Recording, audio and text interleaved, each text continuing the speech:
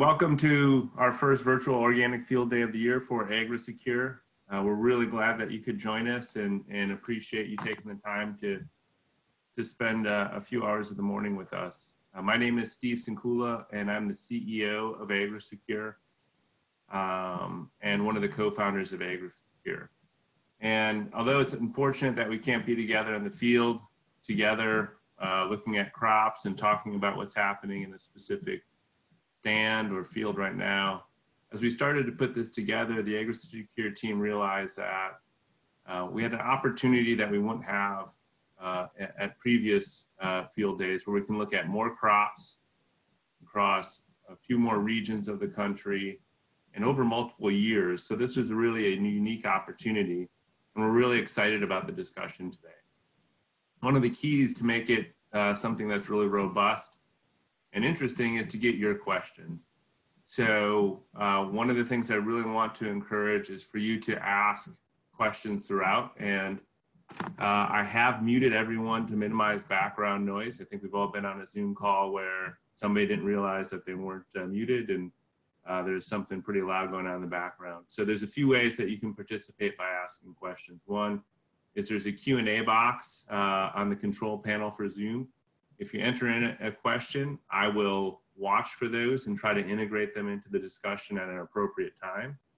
The other thing you can do is I believe there's a little raise hand, so a hand icon. If you raise your hand, I'll watch out for that. And at a break pretty close to when you raise your hand, I'll uh, try to unmute you and then uh, uh, see if we can't get your, your question answered. Um, so uh, that's going to for the logistics. For those of you who haven't met AgriSecure before, I just do want to say a few things about us. So AgriSecure was founded by farmers, for, uh, which are organic farmers for farmers.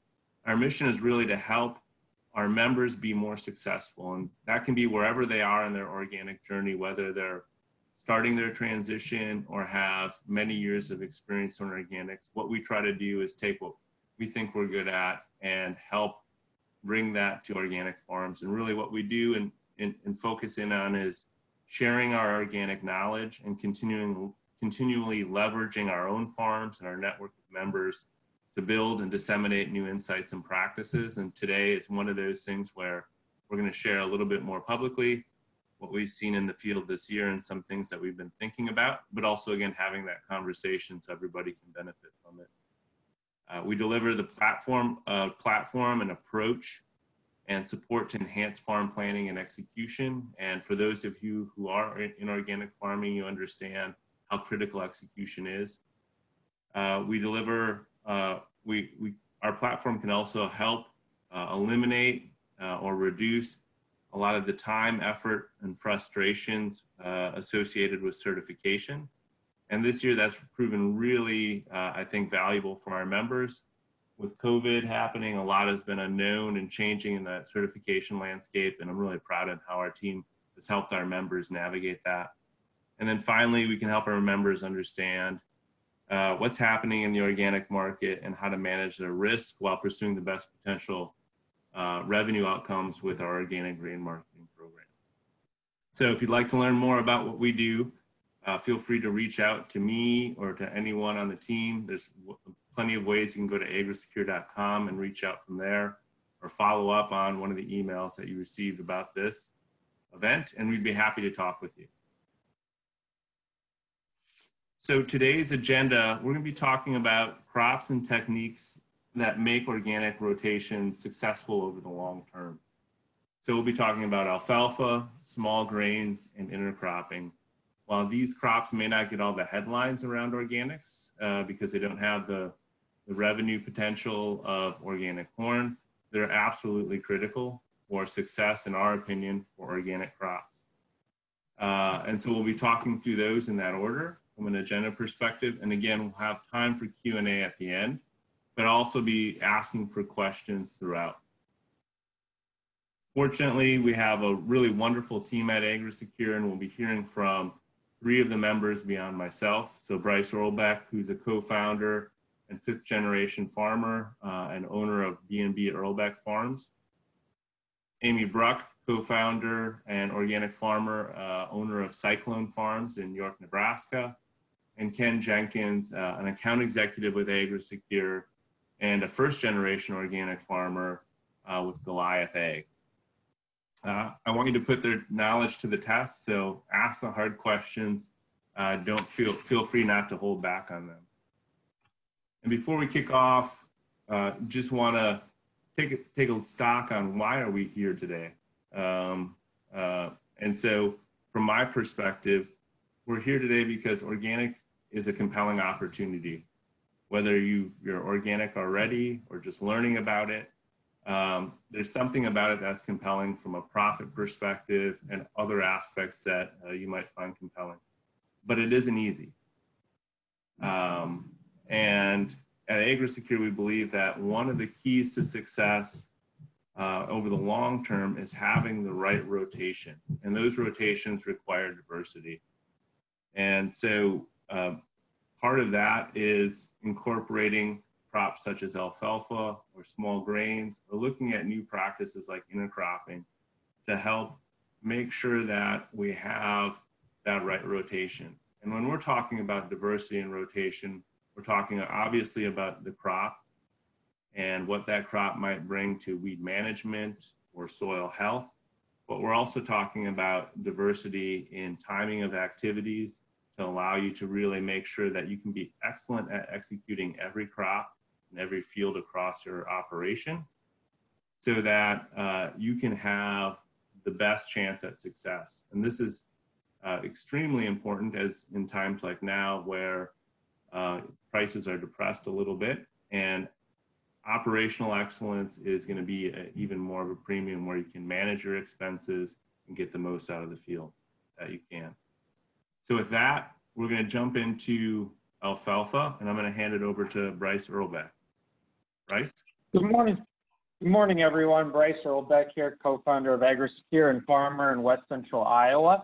Uh, we'll start the day off with alfalfa and organics. And notice we didn't say organic alfalfa because we'll switch back and forth from transition to organic alfalfa to conventional alfalfa. Uh, alfalfa has been an integral part in our farm in Western Iowa, B&B Irlbeck Farms, as well as an integral part to successful organic operations I've seen and worked with around the country. And we'll dive into a little bit of why that is and the, the economics behind it in the next few slides as we move forward. And I know we'll have a video that comes up right before we dive into that, Steve, so I'll let you play that here.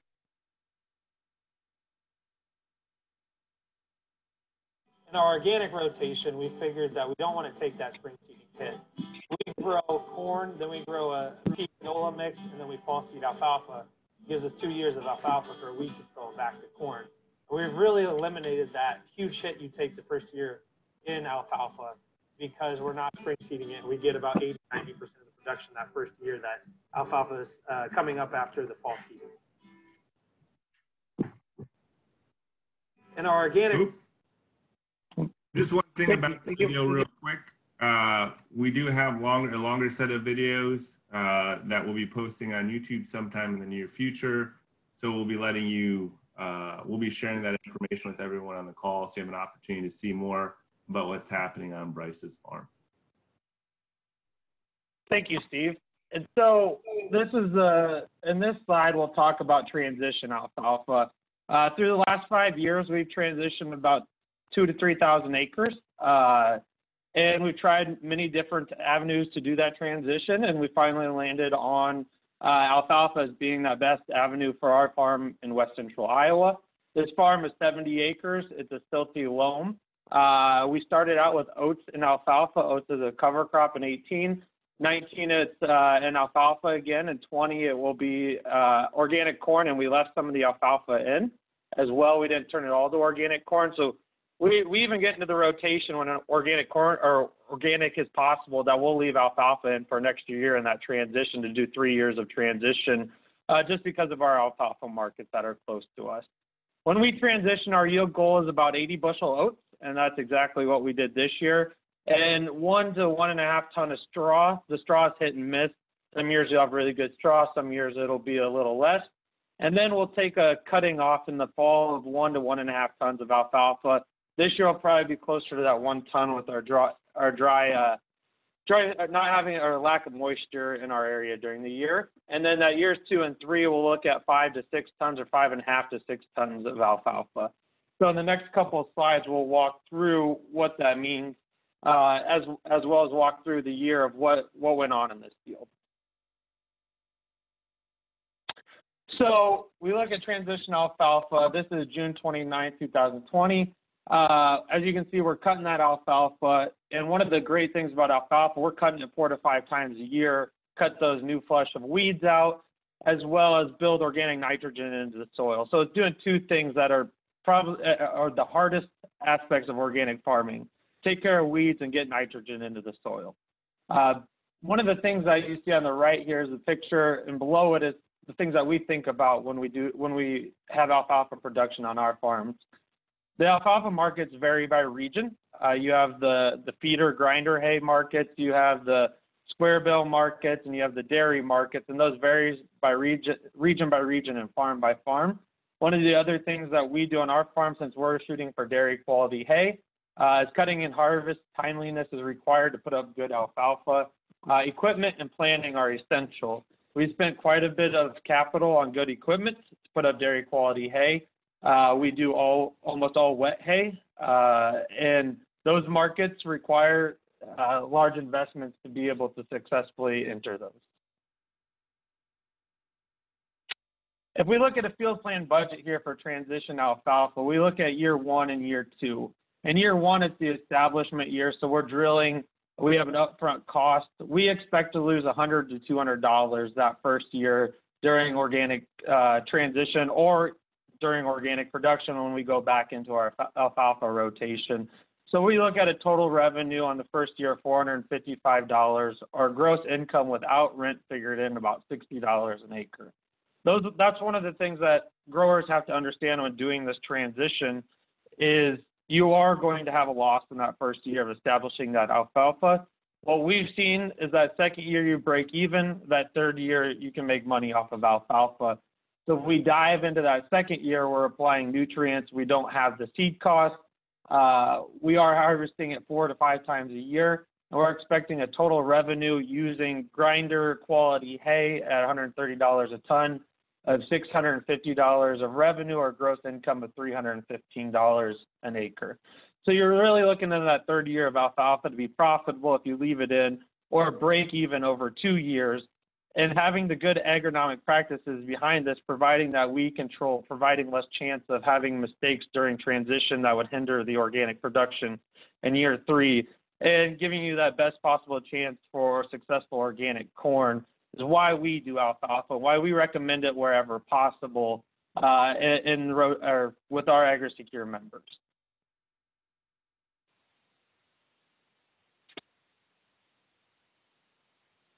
And so I will turn it over to Ken as he has been working with AgriSecure and as an AE in north central Iowa. Uh, he has the same da data, seeing the same thing as us, and on his farm that he started, he also chose to transition with alfalfa and oats. Uh, I will turn it over to him and let him talk through that now. Thanks, Bryce. Uh, as Bryce mentioned, my name is Ken Jenkins. I'm an account executive in North Central Iowa, covering the, the eastern part of the Midwest. Um, and our organic farm uh, is not fully organic yet, and we still have a few fields to transition. And this field in particular is in Thornton, Iowa and it's 53 acres of, uh, of clay loam soil. It's a little bit heavier on the clay side, so drainage can be an issue from time to time. Um, consistently with corn soybean rotation on the conventional side, and um, we've had some heavy weed pressure. So for us, it was how do we make a transition to to make it more successful when we do hit the organic year, and that's why we chose alfalfa and the oats. Our target for oats was about 70 bushel oats. Um, we the first year cutting of alfalfa we may or may not get. We don't we weren't really planning on it. Hopefully there's enough straw there uh, to make up for it. But then the bulk of our uh, cost will or in the front in the first year and then are made up with uh, the second year of transition for the alfalfa. So if we go to the, the uh, the next slide, I'll show, we'll talk a little bit about what we did here. So we planted this, uh, this field on April 11th, uh, or April 10th, and then had one pass, uh, just a nice drag pass behind it, and we got a really good stand out of it. And so again, previously this was uh, soybeans with a terrible herbicide control because we we got it on late. Our timing was poor. Um, by time we realized that we hadn't gotten our post on there, it it was kind of out of control. So so we didn't get the weed control that we had liked, and that's again why we chose to do what we did here. But it also is the reason that I'll point out is why we we put our conventional acres into our My Farm platform too, is just to make sure that we're accounting for all of our activities, even the things that aren't as front of mind, um, like the conventional, since we put a heavier focus on our organics at our farm. Uh, but what you'll see is that the oats will emerge prior to the alfalfa. Uh, for me, not raising alfalfa, it was a little bit nerve wracking, but it, you know, once you start to see this beautiful stand come up, you you start to get put at ease. And then for you can't really tell in this picture, but we had really good weed control up front. And on this next slide, you'll see a little bit better. So on the left, we're starting to see our our alfalfa come in. Um, you're not really seeing a whole lot of weed pressure. It's done a great job at choking out all the weeds. The oats kind of took off and, and got ahead of the alfalfa, so and established beforehand. So that did a great job competing against the weeds. Um, we see a little bit of what we believe is just the alfalfa showing signs from a lack of uh, sunlight. But after we take those oats off, that should uh, kind of go away, and then we should see the alfalfa fill in a little bit more. On the right hand side, you can see we've got a lot of CRP ground um, around this field, so it's hard to sometimes distinguish between what's a, a low spot and what's you know some sort of grass patch or something. But usually you would have not been able to see this anything in this field because it would have just been out of control with button weeds and all sorts of other uh, tail and things like that. So early on in the season, we had a few tail, but uh, for the most part, it's done really well. And we've gotten our yield updates as of yesterday, and you know, initially we thought we were going to have 70 bushel uh, oats out there, and it turns out that this was just the perfect year for small grains, and we're looking at 80 with some better test weight. So that was kind of a nice um, unexpected win for us. Uh, but again, to me, the transition part was more about making sure that we had the good weed suppression because that's what I was most nervous about with this field history. So then if we look at the cost, um, for us, we did do a plowing on that field just because, again, you know, there was a lot of troubles that we had. Um, we did have a tractor get stuck in there last year putting on manure uh, created some ruts. So we plowed this field, and the difference that we saw on this and our organic field, which we have some oats and alfalfa um, first year on as well, is that the weed control was better. Um, we typically try not to do the plow at all. It's just, uh, but in this case, it actually benefited us uh, this year. So then we had the field cultivating, and then we uh, did the drilling. And the very next day, April 11th, we had uh, a quick drag pass, and then we just kind of sat on that for a while.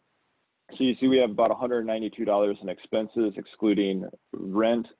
Um, we can adjust that 70 bushels, but you know, based on the yield estimate of 70 bushels and um, the potential for that alfalfa cutting, we're right around $355 of revenue. So the gross income is 162, but if you take out that alfalfa cutting, we're, we're closer to about 43 bucks an acre. Then you factor in the rent. Um, it'll be a loss this year on those acres, but we'll make that up in year two as you see our costs are a little bit lower for cutting and baling just because we have that equipment um, and it's fairly cheap for us to run. And so then with that, you know, we'll generate around four and a half to five tons hopefully. And, uh, you know, we're hoping to sell it for 120 bucks because to me, I, I just want to get through this transition more than uh, try and make tons and tons of money off of alfalfa. But again, if you notice the difference, the gross income, um, we'll we'll do a lot better out in uh, year two, and that'll make up for some of the lost uh, revenue on from year one. So I'm gonna um, uh, before we get into the pros and cons, we've had a few questions and Bryce and, and Ken, I'll let you answer. Uh, so we had one from Adam Cook. Uh, was there manure cost for the oats too? And so, Adam, I will answer first on mine. Uh, I came after soybeans on one of my oats fields this year that I didn't manure and did 80 bushel oats.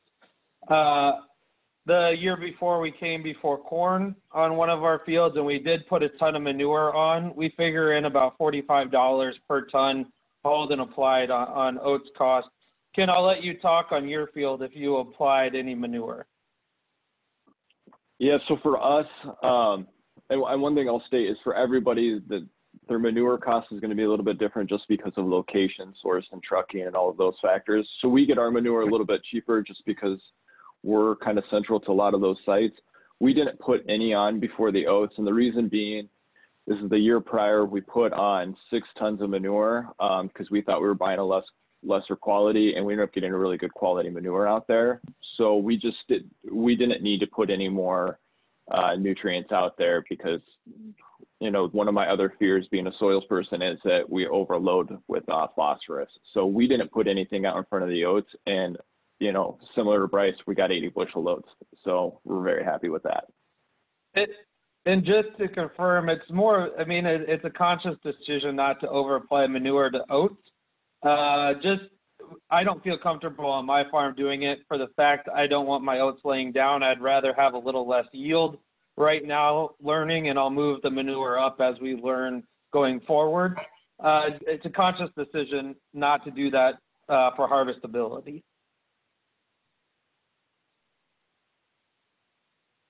Um, yep. Uh, Bryce, we've also had a few other questions on uh, on fertility. Uh, specifically on your slide, and I'll go back uh, to your to your piece. You had the second dry spreading, and there was a few questions around uh, what was the product that you applied, and maybe you can provide a little bit of background on why you applied it as well. Yeah, and I think that's a good talking point, Steve, that we haven't hit on yet during alfalfa is alfalfa takes quite a bit of nutrients out of the ground, and, and specifically our alfalfa yields take anywhere from four to 500 pounds of potassium out of the ground. It's the, the real meaningful nutrient in, in the rotation. Phosphorus is not a big deal. Uh, we still have to replace it, but it's not it's not at that level. Uh, the, the other nutrients can be replaced. And so, talking through a little bit of our nutrient plan and answering the question while giving an overview of that, uh, that $24 is for calcium sulfate. We put about 200 to 250 pounds of Cal-Sol on our SO4 from calcium products. Uh, we do it for two reasons. To feed that crop of alfalfa, calcium, and sulfur, we feel it raises the RFQ or RFV relative feed value for the dairy. It also benefits the soil by opening up the soil. Calcium is the biggest particle that you find in the soil, so it really it works into that soil long term and opens it up, allows air, water through it, especially in alfalfa. We're driving across it more than regular corn soybean fields. So we apply every field every year 150 to 250 pounds of calcium across our entire farm. Corn, soybean, small grains, alfalfa, pasture. Uh, we we really like it, and so that's where that $24 comes from. Uh, the solid manure spreading, uh, that's what we spent this year is 80 bucks, and that was two tons of chicken manure. We're moving more to around 100 to 120 dollars, uh, just because of our markets where our hay is going. We can afford to do that, put it back. But we're looking at composted cattle manure with a lot more P and K. Uh, and right now, I'm in the in the right now I'm working through that math of whether you use composted cattle manure or to buy in organic potassium sulfate to replace that P or that potassium four or 500 pounds. So you really got to consider your manure sources, what you're taking out of the ground. If you if you have really expensive manure, alfalfa can be really hard to keep up with in the long run. Thanks, Bryce. Uh, we also had a few questions around uh, the costs, and so let me clarify one first, or the the economics or the financials we'll show you. So we have gross income uh, here, and I know that this is probably not the exact right term, what we've decided to do on many of the slides is to eliminate rent because rent can vary uh, from operation to operation. So by gross income, we we primarily mean income before rent uh, and you know other over other overhead like uh, interest or something like that. So it's really just to get to a pre-rent income.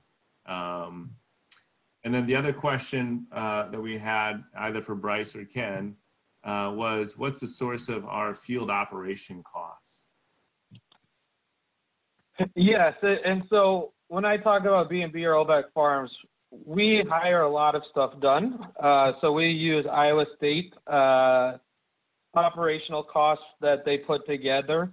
I know Ken does a lot of it on his own with the within the farm, so his are going, going to be a little less, but we hire a significant portion of our operations done and we pay custom operation prices, so mine are going to be quite a bit higher. And if we don't hire it done, we still use Iowa State prices when we figure our budget. Uh, and and then Bryce, do you want to just talk a little bit about um, how we can, well, how we work with clients to uh, track their expenses uh, and, and, understand their economics uh, on their organic fields briefly?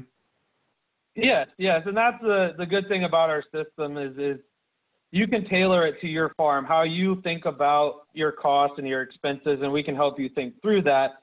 And just for lack of time and, and screen space, we we put expenses up here in, in buckets where in our system I'm breaking out cutting, baling, picking up bales, hauling each each cutting out of the field, and I can keep track of each of those expenses separately and uh, attach the the cost of doing that uh, per cutting or or pass per field of corn and attach my own expenses to that. So in the AgriSecure system, it really tailors to that farm and how you look at expenses, which every not everybody, but there's it varies quite significantly how people account for those expenses in their own operation.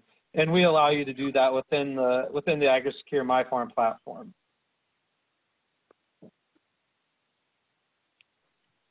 Um, one more question, Bryce, and then we'll get. Uh, actually, I'm going to hold off on this one um, for the the small grain section. So, all right, let's move on to the, the kind of the key takeaways for alfalfa. Yeah. So as we talked about earlier, alfalfa has been an integral part in, in a lot of operations.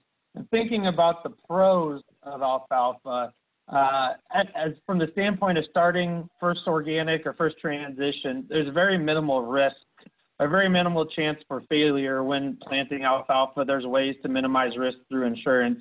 Uh, but you're not going to have disasters. You're not going to have weed banks grow during transition.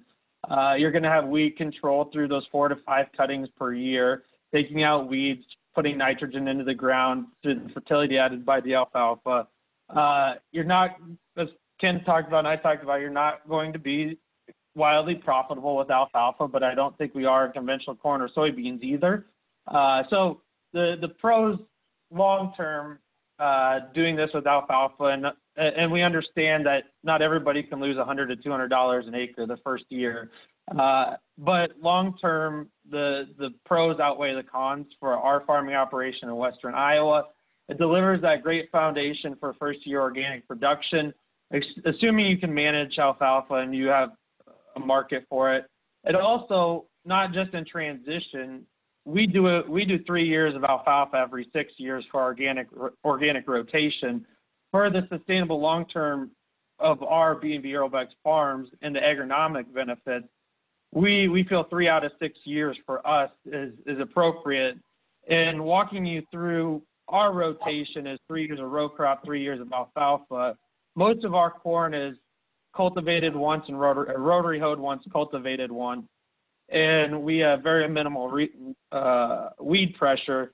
And we've cut down our, our manure applications and really cut the cost of our organic corn pretty significantly low having alfalfa in that rotation. If we look at the cons, uh, again, that upfront investment in year one as can't be done by everybody in their financial situations. Uh, complex harvest logistics, I can tell you we've invested a lot of money into that in our farm. It's a decision we had to make up front. Uh, it, paying equipment is not cheap, and most people do not have it. Uh, equipment investment is a must, and markets regionally based. We put two to three years in building our markets. It's not going to happen overnight. You're not going to call your local elevator and say, I want to sell alfalfa. I think we know that. Uh, we've worked hard to build our markets. We've we put together plans and we put together processes and we've worked with end users and and we've invested quite a bit of money into getting where we're at uh, to to make that a successful hay operation. And so it, it, will take time, it'll take money, and it'll take management to to bring that uh, alfalfa market to you.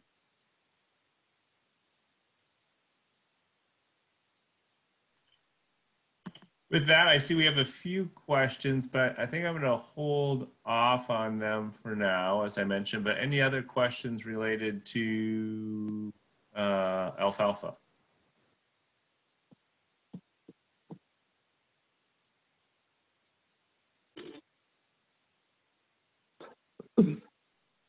So, all right, then let's move into small grains. Bryce? Yes. So small grains. We'll take the next about 20, 30 minutes to go through small grains, what we've learned this year from the different farms around the country that we work with, including our, my own. And, and we'll talk through, as we know, everybody can't raise alfalfa. Uh, small grains is the next best option for, as, a, as the overall arching uh, summary of what we're doing today is how to, how to bring longevity to an organic farm and bring better financial outcome to that organic farm and, and decreasing the workload. And small grains is one of those areas that we, we can focus on and bring light to the financials and the agronomy behind it. If we look at small grains, there's a few things we learned about barley, oats, and rye. And it seems it seems like it's obvious these types of learnings, but until you raise them, until you learn how to do them, and it takes couple years to learn this. Uh, we're on our fifth year of raising small grains, and we've raised all of these on a on scale. And we still are learning things every year of how to raise these, how to get better. But if we look at them from a market standpoint, barley, oats, rye, and wheat, we see in transition, barley has one of the, the, the lowest market potentials. Uh, I really like it to feed, feed uh, beef cattle, but a lot of people don't understand barley, especially cattle feeders. Uh, so as a very low potential on transition markets where we there's open markets across the Midwest for transition wheat. Uh, you can get it sold, you can move it tomorrow for the most part if you look around. So we think about things of, of what is the market potential for them. And then we look at organic, which is a little bit different. Barley has high market potential. Uh, it is a replacement for corn in, in, in the organic market and people that feed organic livestock understand barley a little bit better than the conventional guys. Then we look at wheat having the highest potential of organic. It, it, can be moved tomorrow. There's quite a few buyers of it, food and feed grade wheat.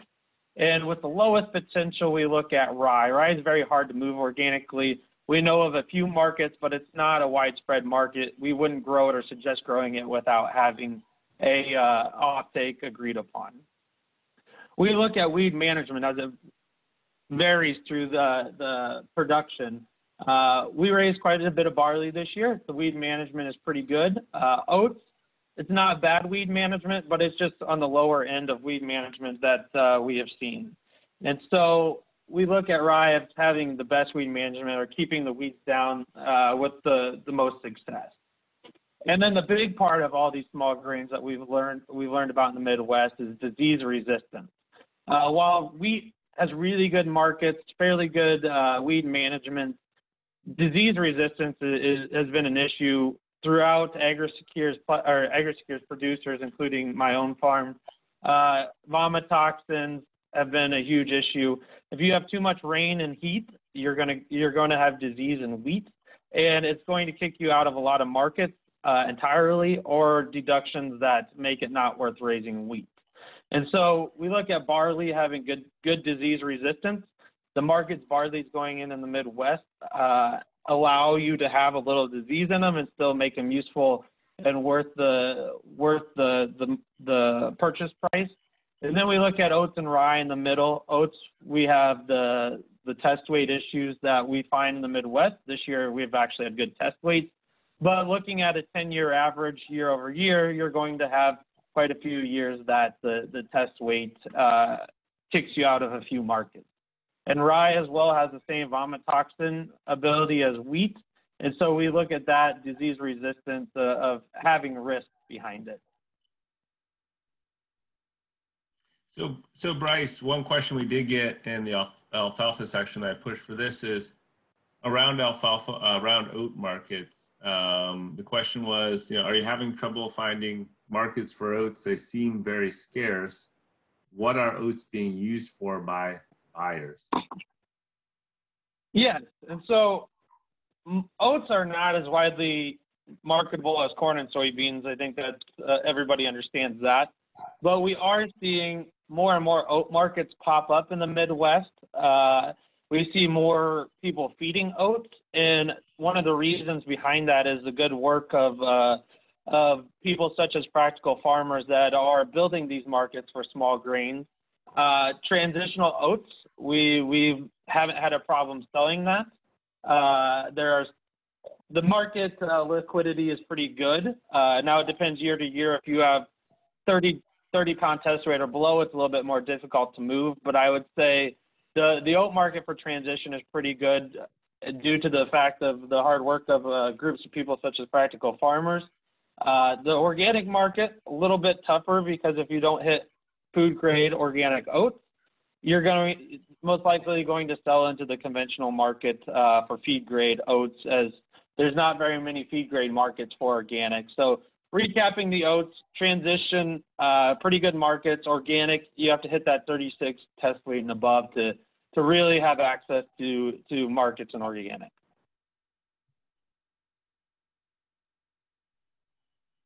Thanks, Bryce. All right. So one of the things that we grew on our farm this year uh, is barley, 55 acres.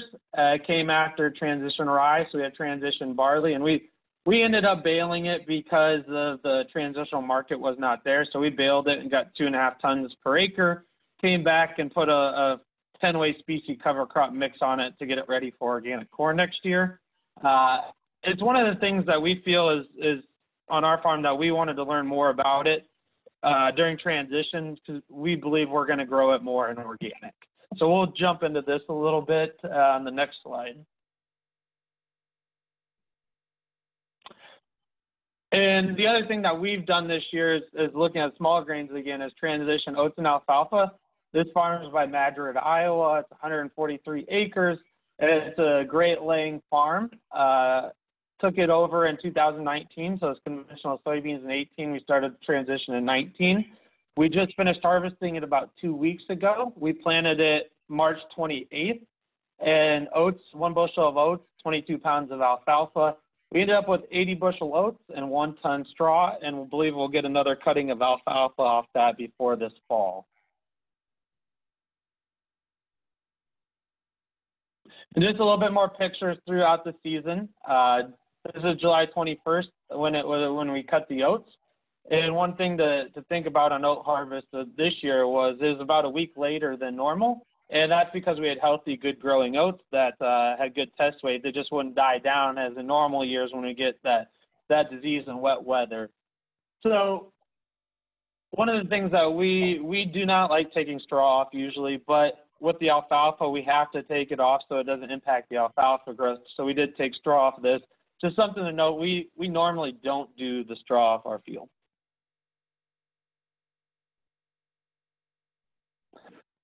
And so thinking, looking at our transition oats and alfalfa field plan budget, this was year one. Uh, we have a seeding of $111. The field conditioning right before that. Again, we're coming right after soybeans, so not a lot of tillage. Light field conditioning. We pay $40 an acre to have it combined. Uh, we had the straw bale at $13 a bale or $13 an acre. We had the gathering bales uh, we'll have mowing hay, raking hay, round baling again, and then truck hauling of all the, the commodities that came off of it. organic paperwork, and then new seeding alfalfa insurance. So our cost in this field is $291. Uh, we we figure the total revenue of being about $410 if we don't uh, um, $410, but then a gross income of 119. Our rent on this field is 250, so we'll lose about 160, 170 dollars on this field this year, but have we had excellent weed control. We had very little management, and we're we're very happy with the outcome on this field.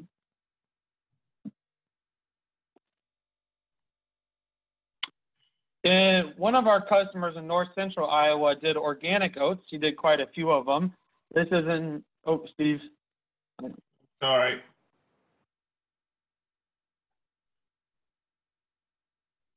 So this is in Laurens, Iowa, uh, 108 acres. He had transition corn, transition soybeans, organic corn, and decided to go to organic oats after it for a small grain as he had raised soybeans organic soybeans the year before and wanted to minimize the soybeans acres. He picked a good year to go to go to oats. We'll just we'll jump through his uh, farm a little bit throughout the year on the next few slides here. July 3rd, he got if we start at the beginning, he got a really good early planting. We had good cool weather during the growing and the flowering. He had a really good growing season. And so this is a July 3rd picture. No weeds out there. Uh, very good stand.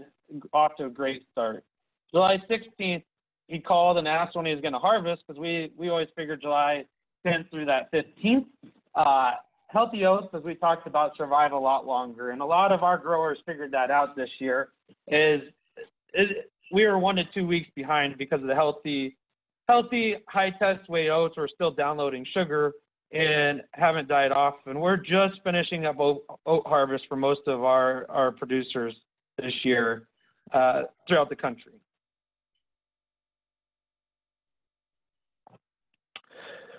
So looking at the organic oats field plan budgets, uh, they did plow this. They had $15 an acre in plowing. They had $46 an acre in solid manure spreading. They field conditioned it, they drilled it and combined it, and then they'll field condition it one more to take take out the weeds that were under the oats. And we don't have it in the budget because we haven't they haven't confirmed it yet, but they'll put a cover crop back on and go back to organic corn the next year. But if we look at 80 bushel oats, uh, we put four dollars a bushel in there, uh, three hundred and sixty dollars uh, an acre of revenue, and we think they might even hit that five dollar bushel mark uh, with the high test weight that they had. So they're looking at a gross income without rent is two hundred and two dollars per acre. Average rent up there being two fifty to two seventy five. They were very happy with uh, uh, looking at the long term outlook of doing oats and yes, they have a loss, but no weeds, and they'll be able to build to a better organic corn year next year. And the management was a lot lower than soybeans. One of the things that uh, came quite apparent to me is we have to look at small grains not year one year at a time. We look at them as a as a soil building, weed management, uh, overall farm management, uh, rather than a one year as as a conventional farmer look at corn and soybeans. Small grains in the Midwest, specifically in Nebraska, Iowa, southern Minnesota, where our rent is 250 to 350, is it's difficult right now to make money. I mean, this year was one of the better years, uh, just because of the yields, the the climate that we had to grow small grains. We look oats, barley, wheat, rye. Again, these are general that we're finding over average of cost of production. And we look, the cost of production does not change that much between all of these. We're looking at a 10 to 5 to 10 dollar range of cost of production on average of what of what we expect. And so thinking about the decision making of what grows best in your area, what do you have markets for, and being realistic about the numbers. If we look at oats, uh, 70 bushels is probably realistic for our area, and the test weight is still a question but total revenue of $380 with a gross revenue over cost, not including land rent, is $120 an acre. That's pretty hard to make it on 250, 350 bushel ground.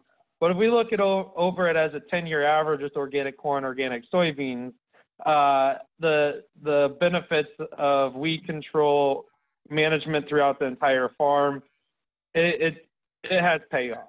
and if we look at 100 bushels an acre, it gets a, a good test weight. We can be up in that 340. I wouldn't recommend planting on that, but we have seen that this year, getting close to that 100 bushels. Uh, barley is the same way, 60 to 80 bushel average. Uh, throughout the years, you know, average 60, really good years 80. We've seen prices 550 to 650. Uh, so good years can pay off in the Midwest. Wheat, 60 to 80 bushels, uh, 60 being average, 80 being a good year. We've seen yields above that, but not on a on a year-over-year basis. Good protein will get you $11. Uh, average wheat will, will fetch seven dollars, and so looking at 255 to 700 dollars on really good wheat, I wouldn't. This is a one in five years, one in seven years in my aspect of of getting that kind of wheat yield with good protein. Looking at rye, again, this is the, the markability 50, 50 bushels to 80 bushels, six to nine dollars. Uh, looking at a straw revenue of $100, but a gross revenue of 130 to 550 dollars. This gives you a good starting of where to think about what markets are available in my area, what is relatively reasonable cost of production, and what's an average yield and what's a really good yield, and thinking about that on, on a five to 10 year rotation.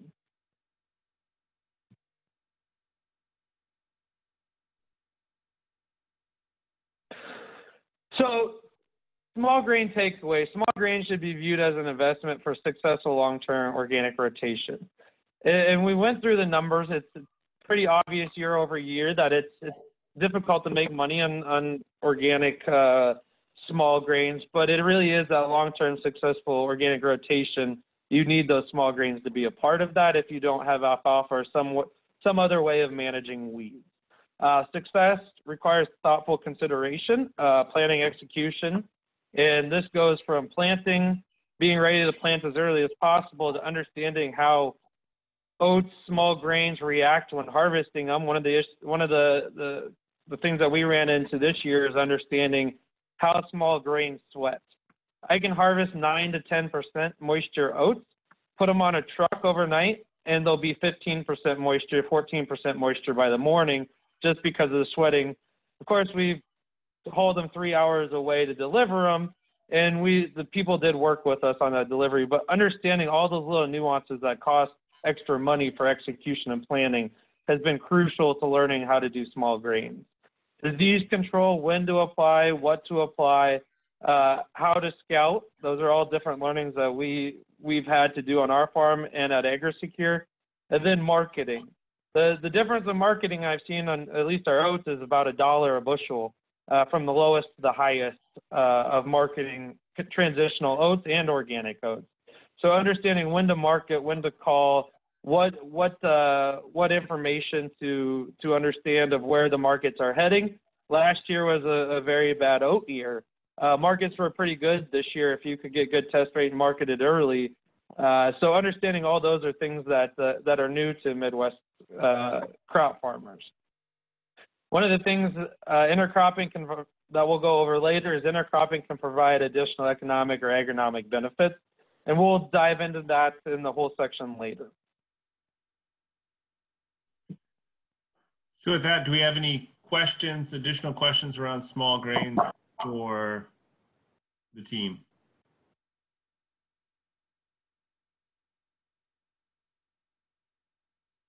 If not, all right.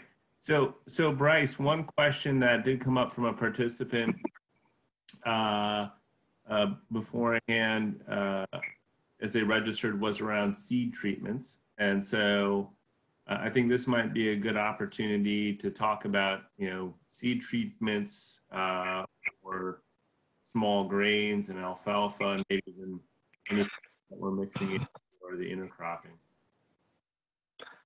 Yes, and and I'll give you a view of our farm. Uh, one of the things that we've we've committed to when going organic is keeping the money in our town and and on our farm. And you know, one of the things that we realized organic or conventionally we were paying for all this stuff and did it really work? And seed treatments was, was one of those.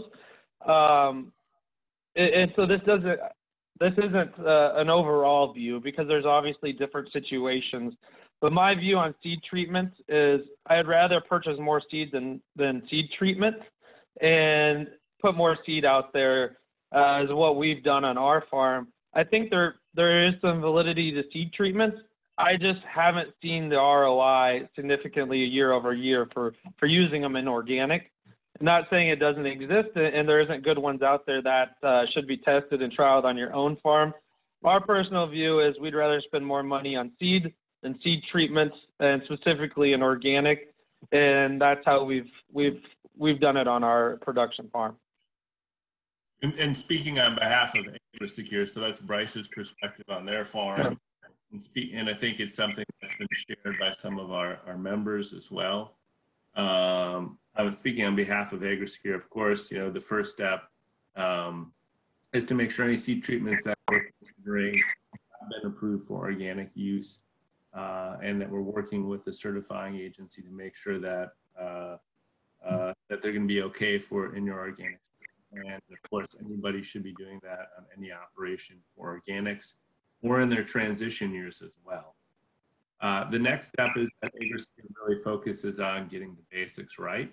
Uh, uh, uh, and so, um, and so we really focus on starting with the basics and then starting to experiment at the edges and, and learning more before we go and give strong recommendations. And so, for example, we'll be talking about intercropping, intercropping something where we know we don't have all the answers. Uh, we think that there's a lot of potential there to really enhance the rotation with a variety of different dimensions. And seed treatment might be something like that, where we can work with our members uh, over time, understanding who wants to experiment with them or try them out, and then trying to validate which ones work or don't work. Yeah, and I should I should be clear, Steve. There we do do some seed treatments such as inoculant on soybeans, inoculant on peas, uh, and we do test trial other seed treatments uh, on a small scale. And I think that's probably more of how we should have answered that question. Is is there's things that work out there, there's things that don't, uh, and- we recommend trialing them on a small small area of your farm to make sure there's an ROI.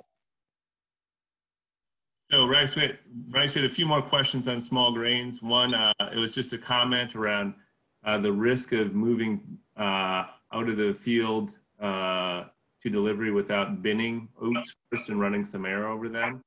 Uh, so, you know, was there, the question was, you know, why didn't we do that um, and sweat them in the bin a little bit before delivering them? Yeah, there. Um, that's a good question. There's a cost to putting them in the bin. There's a cost that. What's that? Is that in retrospect, yeah, that made that, that would have been the right thing to do. It, yes, but there's a cost of putting them in the bin, and there's a cost of taking them out of the bin. And fortunately, as we looked at uh, a lot of the, the economics, adding more cost was not an option. Uh, and so that's why we shipped them out of the field. Yes, the, the best way if you have it and it's, it's easy access. This field wasn't easy access to bring it to a bin. Uh, the best way is to sweat them in a bin and, and deliver them.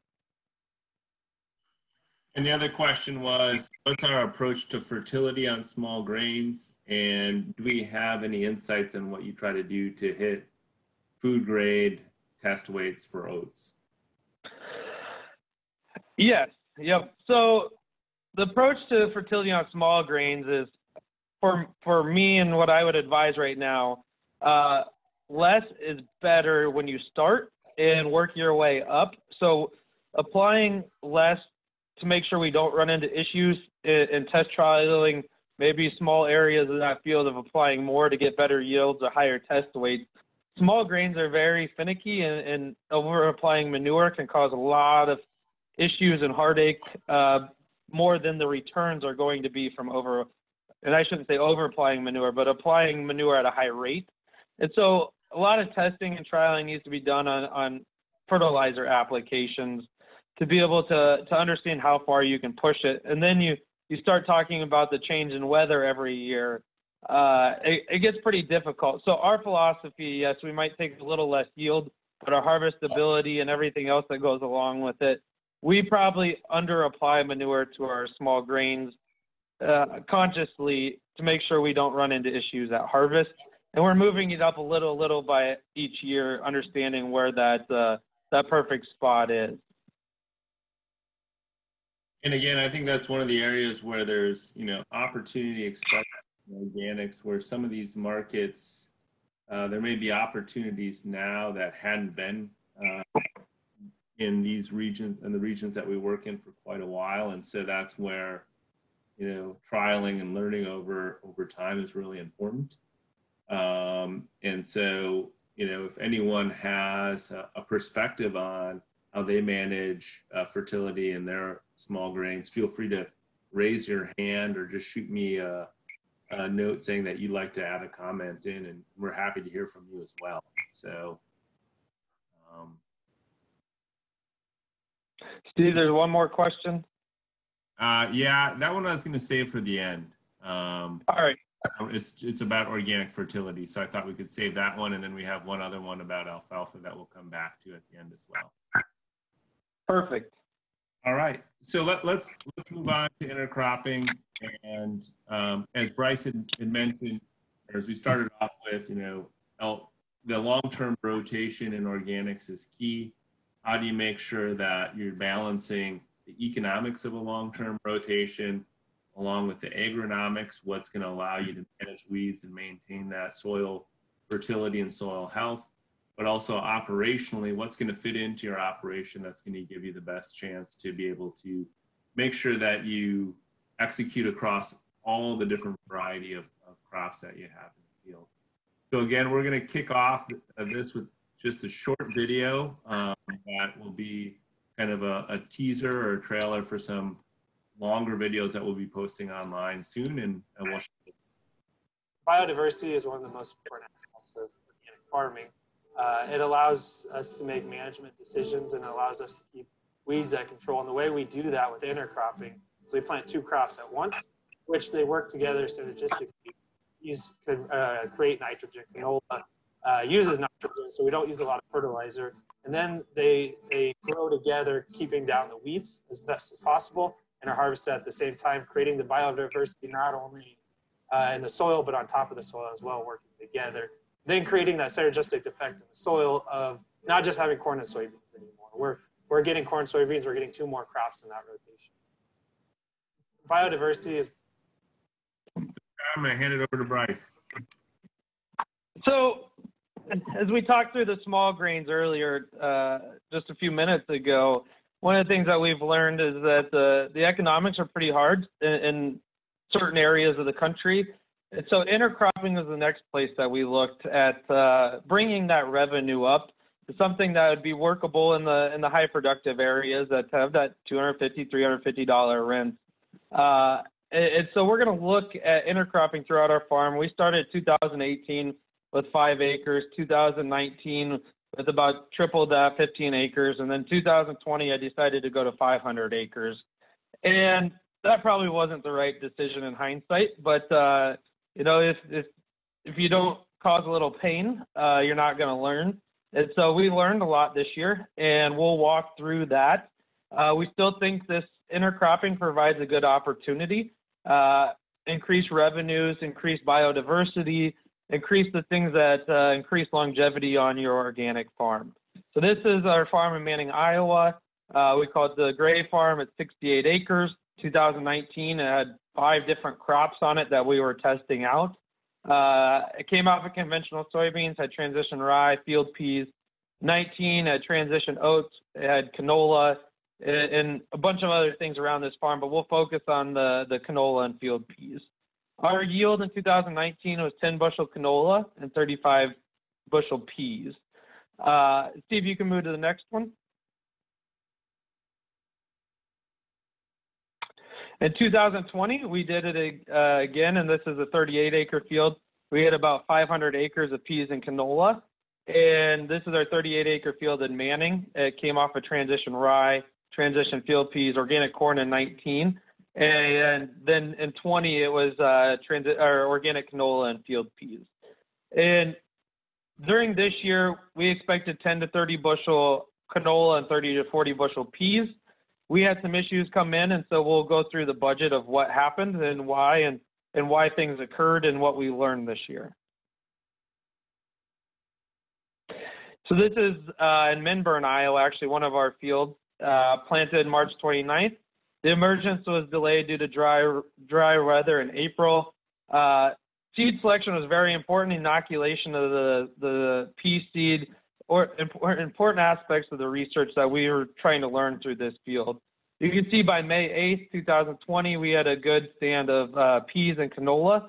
The peas emerged prior to the canola. The canola growth was was stunted. We feel by that April 15th, April 25th, when it dropped down to 20 to 25 degrees. The peas thrive in that weather, and the the canola was stunted. And even we think froze off a little bit of the stand uh, throughout all of our fields that we had during that uh, uh, drop in temperature.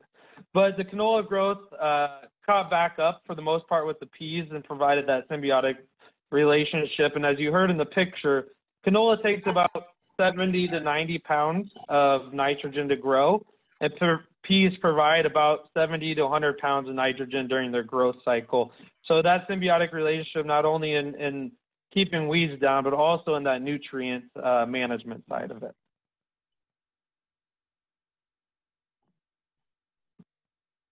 So on June 29, 2020, we can see a pea canola mass together to create the, the support system. We can see some weeds popping through, but uh, we're not worried about them because they're not going to seed. In about four or five days, here we came and swathed this field, and I'll take you through the harvest that uh, went on and we control a strong, less efficient stand. Uh, additional work we have to do on the seeding rates and varieties, but we we we messed around the seeding rates uh, this year and really think we dialed it in for next year. Uh, peas started to dry down ahead of the canola this year, and we think that's because they got the head start with that cool weather in April. So that was one of the main issues that we had. Is canola seemed about a week behind last year and a week behind the peas. So we swathed early to avoid pea shatter, but we we feel like we lost quite a bit of canola that wasn't ready, needed one or two weeks. But we made that conscious decision that we're going to go after the peas and and sacrifice the canola. And Bryce, do you want to talk a little bit? Uh, you mentioned the structure and the math that was being created, but you know the benefits of that for field peas uh, relative to what you saw when you when you tried just peas alone. Yeah, so so field peas are a great crop for soil. That's why we want to integrate them into our system. But the issue field peas have is they grow really quickly up front, which is really good.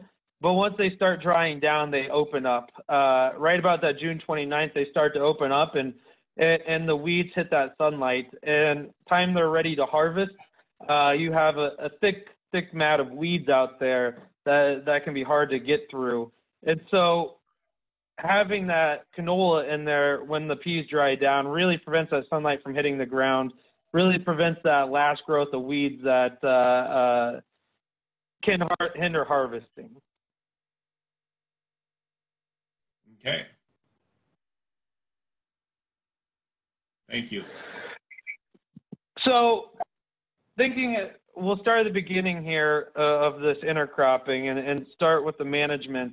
Uh, um, and, and walk through that is if you're thinking about intercropping, you have to have the right equipment. And we have a, a 30 foot drill that can seed two different crops. That's the first start of it. Uh, and we think about from starting from the seed, being able to store pea seed and canola seed is we took in a thousand bushels of pea seed or about 1500 bushels of pea seed and that's quite a few bags of, of or totes of, of seed. Thinking about storage of seed it was even troubling when we went through this process to how to get it into the drill. We had to treat pea seed into the drill, and so we built a treater on our, our uh, uh, seed tender to inoculate uh, pea seed into the drill. Where do you get the organic inoculant? Uh, how do you set the drill? We built uh, um, we built weigh meters on each section of our drill to be able to meter the seed from uh, pea seed doing three bushels to uh, canola seed doing three and a half pounds, all that stuff has to be planned for and executed and has to be done before time.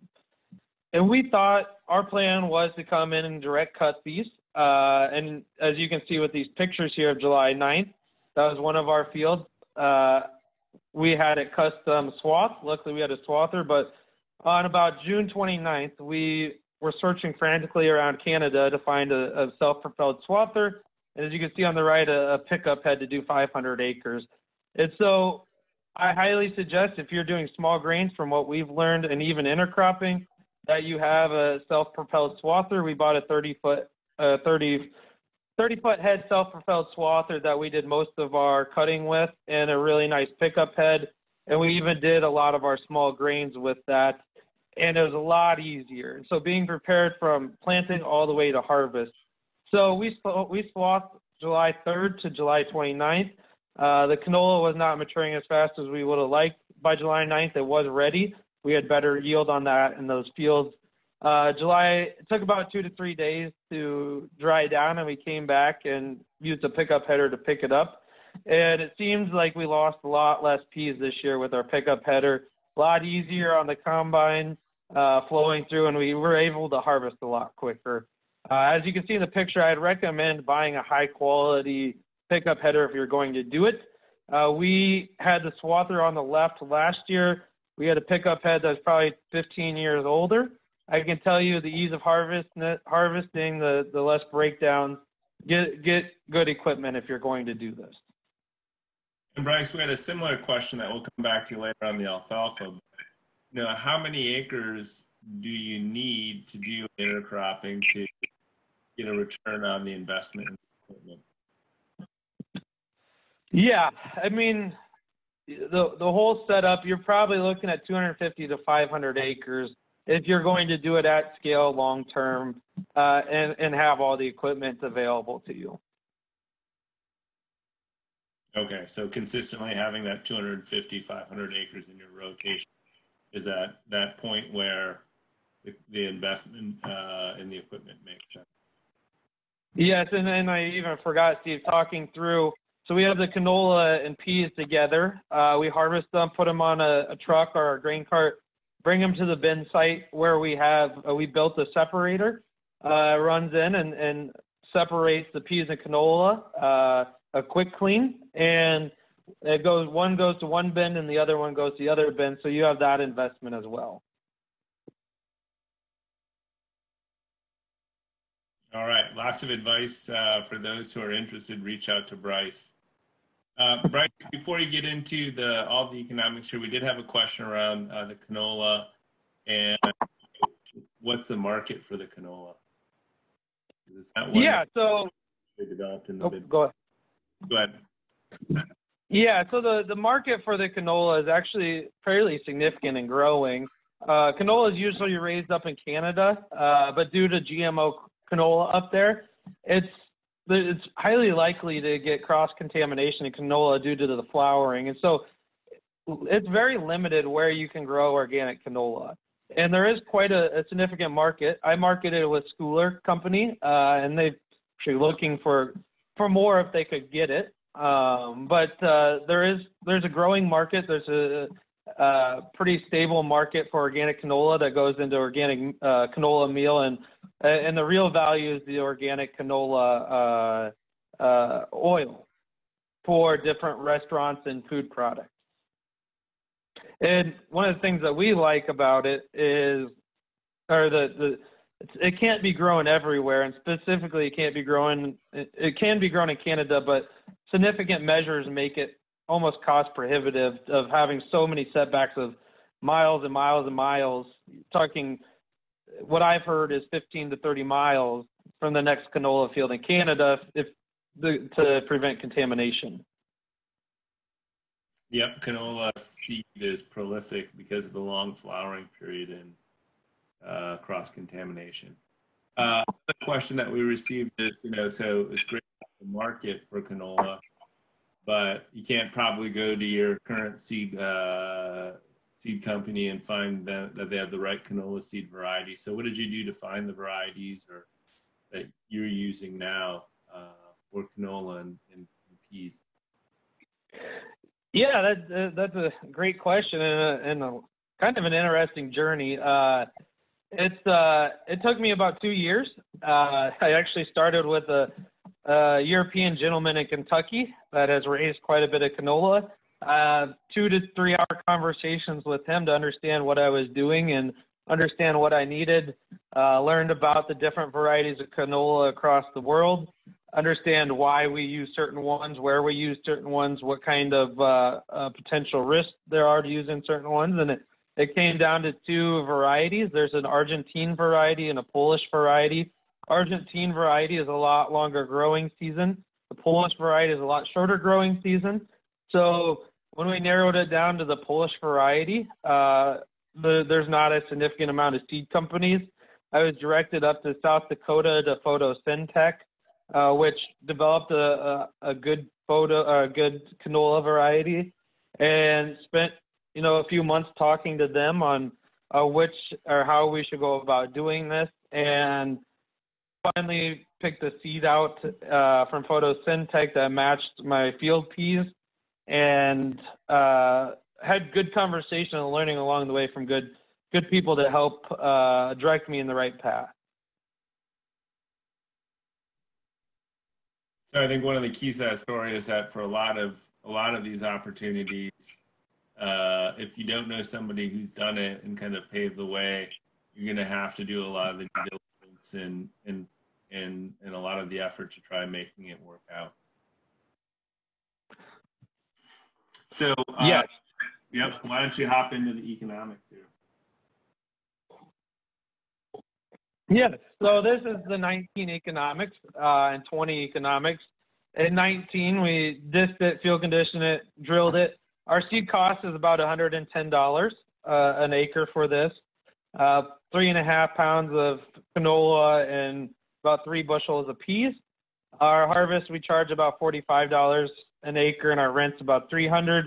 We do an insurance, uh, and I won't get into it, but there is an insurance for it It's not through regular channels, uh, but it's about eight bucks an acre. In, in 19, we did about 35 bushel peas and 10 bushel canola, a total revenue of about $720 or a net income. And this, we apologize for changing it up on you guys, but net income of $227 an acre. Uh, in, in 2020, not much changed on the cost side, except we did swath it, so we added $15 an acre of cost to that to get us a total of $508 an acre of cost of production. This year, uh, on, this field, and this was our field in Manning, we had higher pea production, but much lower canola production due to that difference. And we feel like we put a lot of canola out the back of the combine, capturing the peas. Uh, but again, looking at about the same total revenue and a little bit less net income. And so feeling we mother nature took over this year and it evened itself out uh, you know there's things that we could have done different but we, we feel 35 bushel to 42 bushel peas and that 10 to 20 bushel canola uh, switching a few of the management styles is, is possible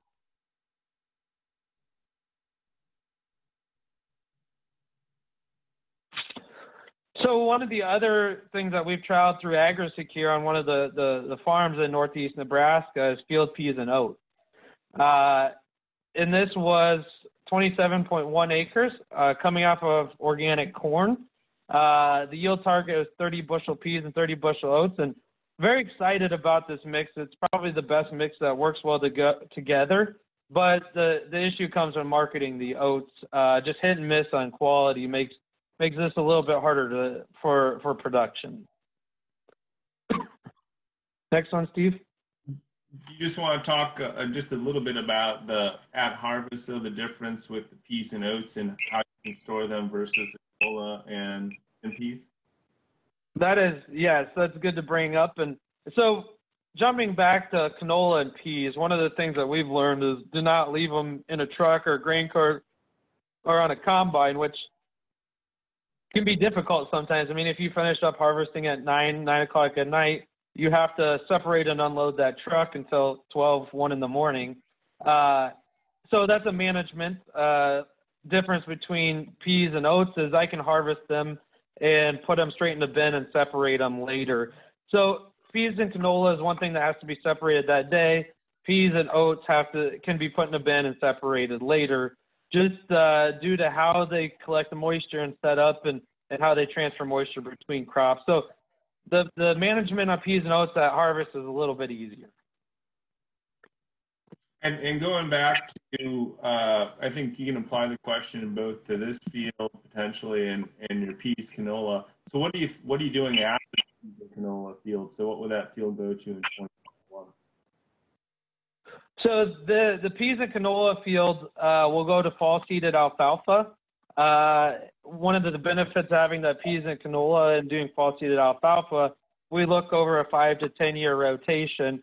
Is I don't I get 90% 90 to 95 percent of my production of alfalfa that next year. I don't have that that leg year of 100 to 200 dollar loss. So having that peas and canola fall seeded alfalfa actually saves me 100 to 200 dollars than having to establish that alfalfa in the next year. So building that's what we help do at AgriSecure. That's one of our goals to to bring to farmers is understanding this is a long-term five to 10 year rotation, understanding those costs and and how everything interacts together and what affects those costs because adding another 100 or 200 dollars to that budget of, of cost savings because I can fall seed alfalfa, that's significant. That's a that's a big change uh, in the overall agronomic and economic impact of, of a rotation. And if you're not going, if you're somebody who's not going into alfalfa, uh, you know, after that earlier season harvest, uh, what would you recommend uh, for for how to follow that up? Sorry, say that again, Steve. So let's say that you're, you know, you're you're not doing alfalfa on your organic operation. What would Yep. you do after the pea canola, or in this case, uh, also after pea oats?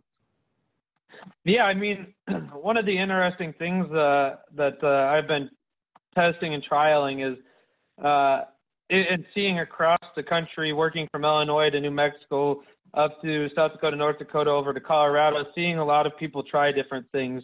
Um, I'm very excited about no-till organic in certain certain aspects, and these are one of these these aspects where I'm really excited about it. Corn soybean rotation, you know, using hairy vetch and cereal rye is, is such a hit and miss because we have to plant so late that, that we have see issues.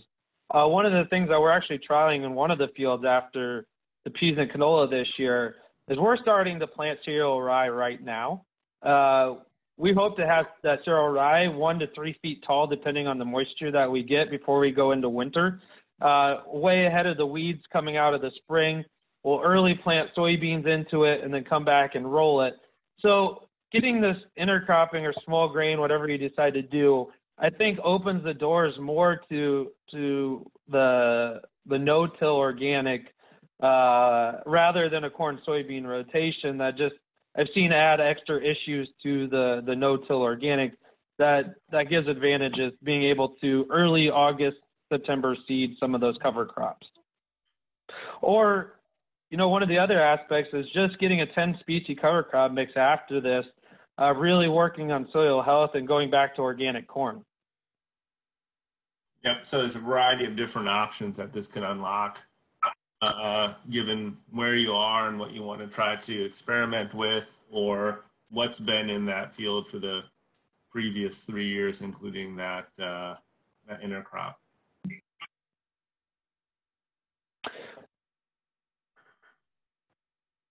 You want to come back to the the field budget here for Ray Brothers, Bryce? Yeah, yep. And so looking at the field budget uh, for organic field peas and oats, uh, we have disking, field conditioning, drilling. Uh, they have a fall seeded alfalfa associated in this this cost too as well. Uh, they also at the $153, they have growing and spraying. Uh, they use Procidic as a fungicide, uh, which we highly suggest uh, looking into. We used it on quite a few acres this year. Uh, you're looking at 15 to 20 dollars. Uh, a good fungicide on small grains is very helpful. I am very. I don't do it on much of my corn and soybeans organically, but I do recommend it on small grains just because of the disease pressure. Uh, so 15 to 20 dollars on that.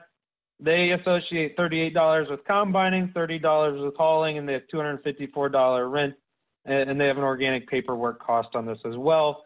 They have $540 an acre of uh, of cost into organic field peas and oats on this field. They had the this is 2019, so they had peas sold at $17 or $510 of revenue. Uh, they had the oats sold at 450, so they're looking at $645 of revenue or net income about $104 with getting their alfalfa seeded. And Bryce, for the So, I- oh, go ahead. you know, for the fungicide you mentioned here, is that something where it's ground applied or aerial, or uh, does it depend? Uh, I mean, it really depends. We decide to go ground applied on small grains. I know we're going to run some over, but we feel like we get better coverage. I know you could aerial apply it uh, at about the same cost, and so it it really matters what's available to you. Um, we just feel we get better coverage on ground applied, uh, but it, it, it's it's different for every operation. And I see we have a, a question about the short season oat. Oh, yep. Sorry. Thank you. Yep. And So- so Everyone was, you know, it, it for the oats and peas are using a short season variety, uh, and what varieties have worked. Yeah, and, and I apologize. I don't know the the uh, the variety of oats that was being on being used on Ray Brothers. I know they've trialed quite a few of them, uh, and, and we've gotten a lot of our data from Practical Farmers. They have really good data on oats, uh, just yield test trials, uh, varieties that have worked. I can tell you on oats that we haven't found a variety that is going to mature the same time that field peas do. So we- have a loss of field pea harvest to get the oats. Uh, um, we're harvesting peas and oats currently, or probably about a week ago on Ray Brothers. And so we haven't found oats that mature early enough for peas. So we're taking that sacrifice of losing a few peas during harvest to wait till the oats mature. One of the things that I think we can do uh, during to decrease this impact is to make swathing more of a more of a operation to make these mature at the same time or close to it. Okay. And let's move on. So you know, the first two uh, examples of intercropping we discussed were involving field peas and companion crops for those field peas. Now we're going to shift over to wheat and soybeans with Amy. All right. Good morning, everybody. My name is Amy Brook. I'm an advisor for AgriSecure and an owner operator of Cyclone Farms um, near York, Nebraska. We have approximately 1,500 acres of organic and transition land right now. And we actually are going to rewind. Um, my information is from last year, um, but it's very pertinent, I think, to the conversation. And it's another take on intercropping with stable crops basically, um, you know, in the Midwest, we typically don't often have the opportunity to get two crops in subsequently. So this was an idea, a concept to plant both crops, hard red winter wheat and soybeans in the windows that they should be planted in and trying to not overthink too much that way. Um, so this field that I selected, actually I did it in two spots and I'm gonna kind of bounce back and forth between the two, two tests that I actually did. Um, the field that you can see here was about 135 acres. Um, all my fields are silt loam fields, so very similar soil on both of the fields. But the difference between my fields were um, the one that you can see there is hard red winter wheat planted in seven and a half inch, drilled actually and then the beans were drilled at seven and a half inch, just um, offset from that hard red winter wheat. I did 135 acres of that, and then I did 40 acres of hard red winter wheat drilled at seven and a half inch, and then soybeans that were offset and planted in 30 inch into the hard red winter wheat. So those are the two differences because I wanted to understand which which potential mechanism um, was better for my fields yield targets on these fields were just slightly lower than normal. I was trying to dampen my my optimism on yields, but still see if I could get all of this to pencil out. So I was really aiming for wheat in that 40 to 55 bushel range, and my soybean target was 35 to 45 when I combined both practices. So if we go to the next slide, we can kind of see some of the pictures in season. So um, on the left, you can see the wheat, um, and this is right at pre-joint stage.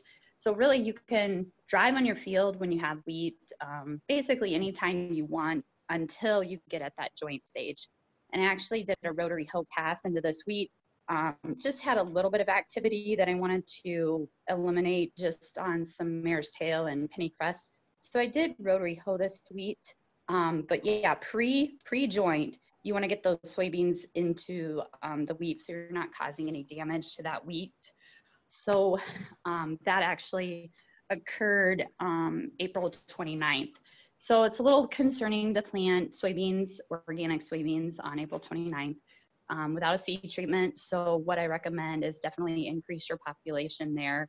And you need to plant them deeper than what you originally would intend planting um, soybeans because you do not want them to compete that much with the with the wheat. You want them to really stay below the surface as long as they can to get that wheat higher up so you eliminate or reduce competition.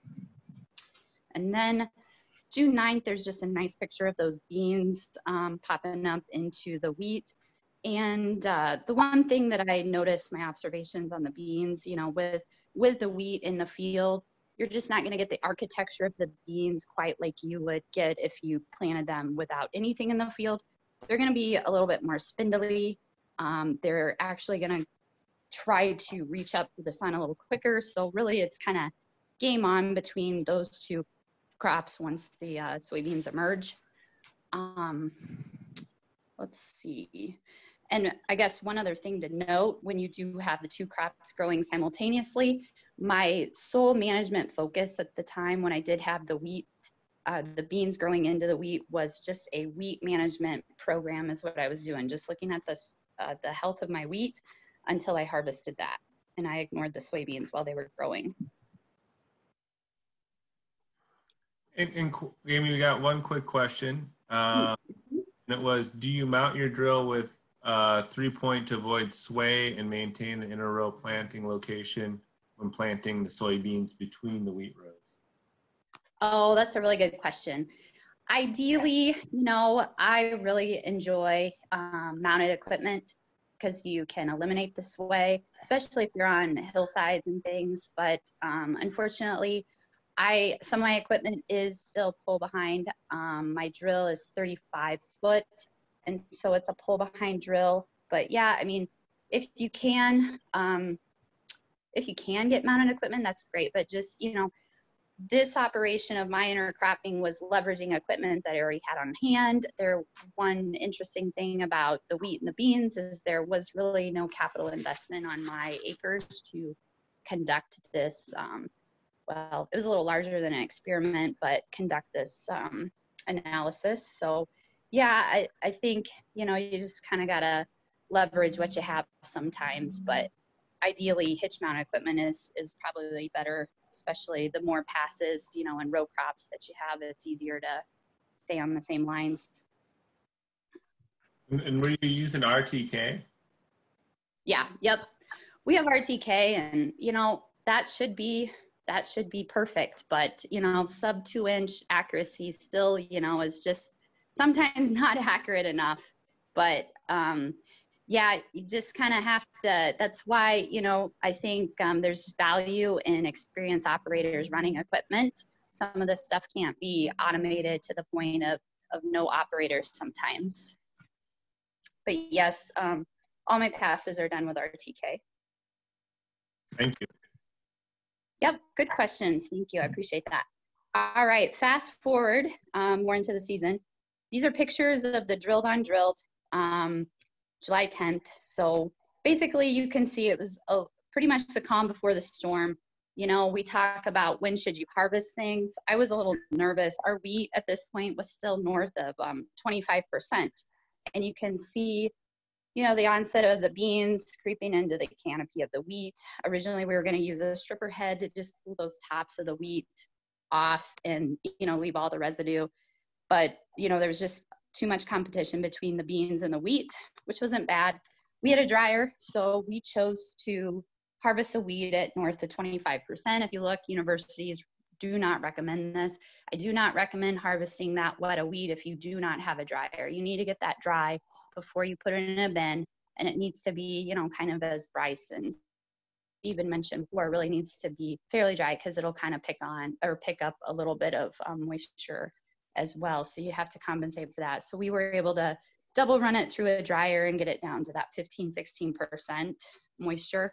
And um, still actually we're able to preserve quality. Um, so anyway, uh, that was kind of an asterisk with me if we're harvesting that wet, what is going to be protein and what's going to be the quality of the wheat. But in my case, everything um, magically worked out, which, you know, you just, I don't know if that's something you can count on year after year doing that, but in this case it did. Um, we did clip the beans. You know, I've done experiments clipping beans, cutting beans at a very young age to encourage branching. I didn't know it flowering because, you know, flowering will start the end of June. It, how this would work on these soybeans by, you know, clipping them they didn't get injured they didn't get diseased by me cutting them you know they just were a little bit more lethargic. I did get a little bit of branching right at that cut but they, they were pretty spindly just because of the growth needing to grow through the wheat you know from day one of their life. So it was just kind of interesting to observe you know the plant wasn't like your your soybeans planted without any competition. You know they were a little bit different but they were still, you know, going to hit my target that I had originally set for the season. Okay, the next slide, we're going to see fast forward to the other um, field that I had that was um, planted the beans in 30 inch rows into that wheat. Um, I had to do this on this particular field because it was actually a gravity irrigated field. And if I needed to get water to my beans, I needed to um, cultivate. And all of that residue and debris, because I left most of the straw, because I set my combine up pretty high just to get those heads and reduce the clipping of the soybeans, it, it was a lot of debris and mat to get through. And it required persistence and patience and, you know, those progressive type passes to get through that mat to actually see the soil between between the plants it was possible. I didn't know if it was, but it really did take patience and really, really somebody calm running the cultivator. Um, the beans actually stayed pretty clean, I must say. I was pretty surprised um, just because of no weed activity or weed management, you know, really up until middle of August. Um, they weren't canopied, so, you know, there was still, I needed to do later season management, weed management of my soybeans um, just because rain, all the rain we got afterwards, you know, stimulated more weed growth. But um, actually, we're able to keep them pretty clean. We did leverage and test out a zapper. Um, I always like to have backup plans and have some flexibility. So we purchased a zapper to have on hand to be ready if we did have, you know, quite a bit of weed activity um, as the season went on you know the capabilities of the weed zapper we learned it's a it's a relatively new piece of equipment. I'd say it's still experimental. Um, you know it the we put it on a 300 horsepower tractor. It was a 40 foot and it it was fairly effective in a application such as this where weeds were you know every 30 inches apart because you know there was just we had cultivated so we got everything in row out so if it's a traditional setup, I think the weed zapper can be fairly effective. Um, it was not effective on the drilled beans into the drilled wheat because, you know, just there was more volume of things coming into the weed zapper just because we couldn't cultivate. So that that put too much strain on the unit and it would not handle that type of application. But um, in traditional 30 inch rows, it does have some some um, positive results. So kind of just a little bit of an overview um, and just the activities that I went through. And this is really focusing more on the 30 inch, um, 30 inch beans into the drilled wheat. Um, you know, we drilled the wheat. I, I, mentioned that we rotary hoed it. We planted the beans um, really very early just because of uh, this, just what the stage of the wheat was. Um, I did apply a biofungicide. We were talking about kind of small grain management earlier. And, you know, depending on the season, um, sometimes you can get a benefit. We were a little bit rainy at times. So I wanted to see what I could do, do to preserve the quality of my grain.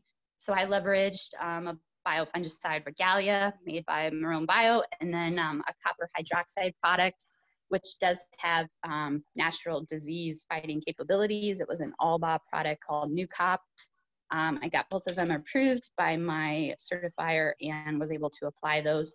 There's three kind of timings that wheat really um, needs to be observed and managed. Three critical time frames, I should say. It's at that joint stage, which we talked. We put the beans in before that.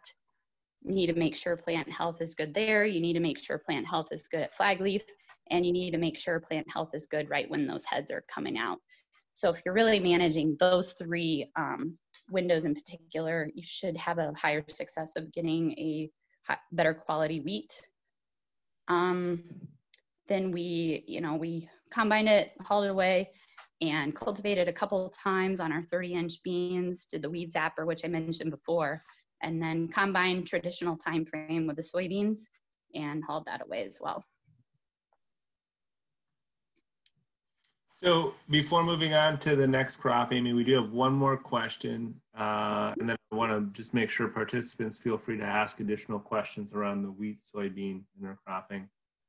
Mm-hmm. The we had was um, about uh, the cutting height uh, for the wheat and as well as did you blow the straw at the back?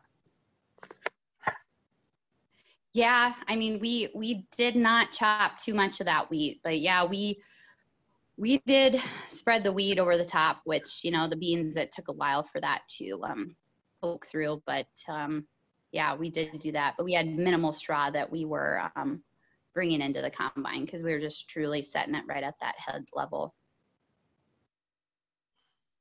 Thank you. Yeah, no, good question. Appreciate the questions. Thank you.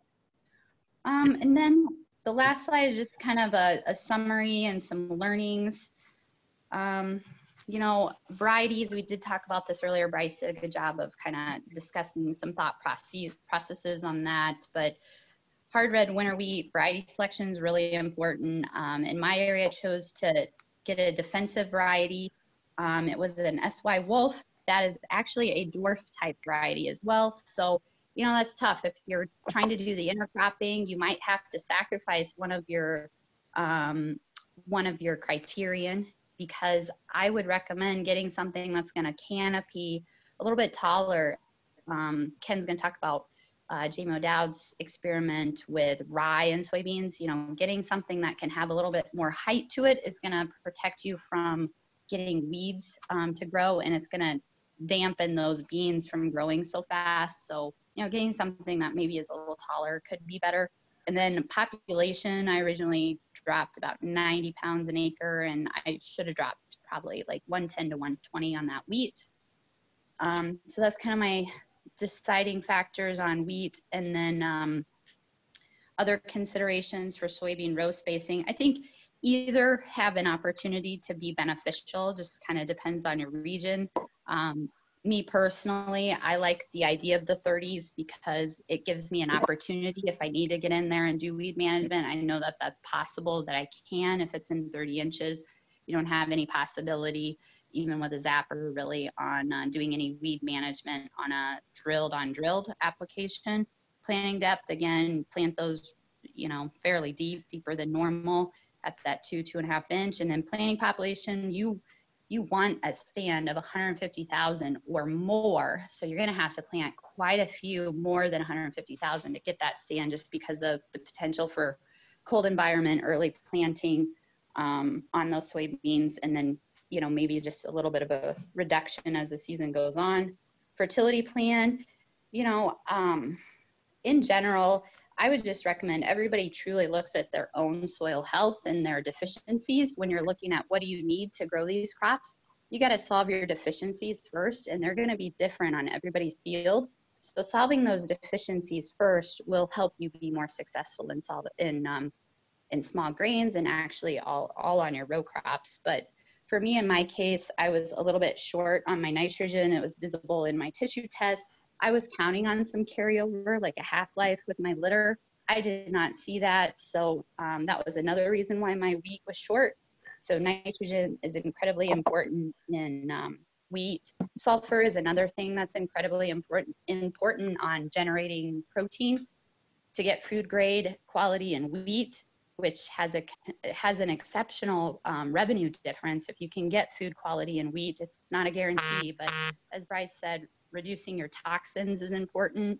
Um, and I tried to do that with my biofungicide application, but increasing your protein is also important on wheat. Um, so managing your soil deficiencies and and then increasing your sulfur content, and that's really important in corn as well. And there are organic ways to do that. Um, and then lastly, weed management in the season. You know, that's one thing to count on when you're putting together your budget and looking at the viability of these intercrop options. But you also need to look at what does it do for your subsequent season for me in particular, my intercropping fields were just a little bit messier this year. This remember I did did this intercropping in 2019, so I could have feel the effect of what it did to my my soil in 2020. And I did do an extra weed management pass on my fields in 2020 on these after these intercropping fields, just because I had a little bit more weed activity. But that's kind of kind of the summary that I put together. And if anybody has any questions, please let me know. Thank, thank you, Amy. That was uh, really informative. I appreciate it. And if anybody has questions, I, I believe Amy will be sticking around to the end. We'll have another Q&A session. So uh, if, if you get them in, I'll, we'll come back to it. Now we're going to transition over to Ken, who's going to talk about one of our members' experience with transition rye and soybean. Thank, you, Steve. Um, so I work with Jamie O'Dowd up in Northeast Iowa in the Butler, Floyd County area, and he works uh, with two other farmers in the area. They're all kind of share labor and equipment and ideas to help try and get across all of their acres in a timely fashion. And so they're really, these guys are a, a step ahead um, as far as being timely and proactive. And so they had the same question that basically everybody else has is, if I don't have an alfalfa market and I transition with corn, uh, what do I do in that second year? And what they wanted to do was try and raise the profitability on that second year. Uh, so they didn't really have to carry as much of a cost over into that third or into that first organic year. And so one of the ways that they did it is they took a different approach uh, versus rye, um, roll crimping the rye. So they have standing rye that they're going to harvest and standing soybeans that they'll also harvest. Um, this is on 72 acres, nice clay loam soil, uh, very square, ideal kind of field. And we had ideal weather conditions this year that really kind of benefited this. Um, so the one caution I would say to most people is probably don't bite off as big of a chunk, but um, the one benefit that they also had was that they've tried growing rye on their conventional acres first, just to kind of get some experience with understanding rye, and then they still had some herbicides that they could use if it got out of hand or got away from them.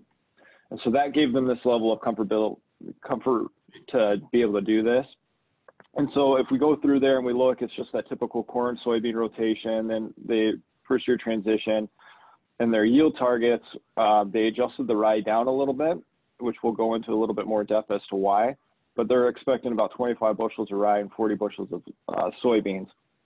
And one thing that I like to say is, you know, if you're not following us on social media, uh, start doing it. Twitter, um, and hopefully these guys will have a, a nice drone video of them harvesting this. But you'll also be able to keep up on some of the other things that AgriSecure is doing and and some of the growers in our network and what they're doing. So you can kind of get exposed to more. So make sure you do that. Um, but if we follow in, uh, June 3rd was this picture.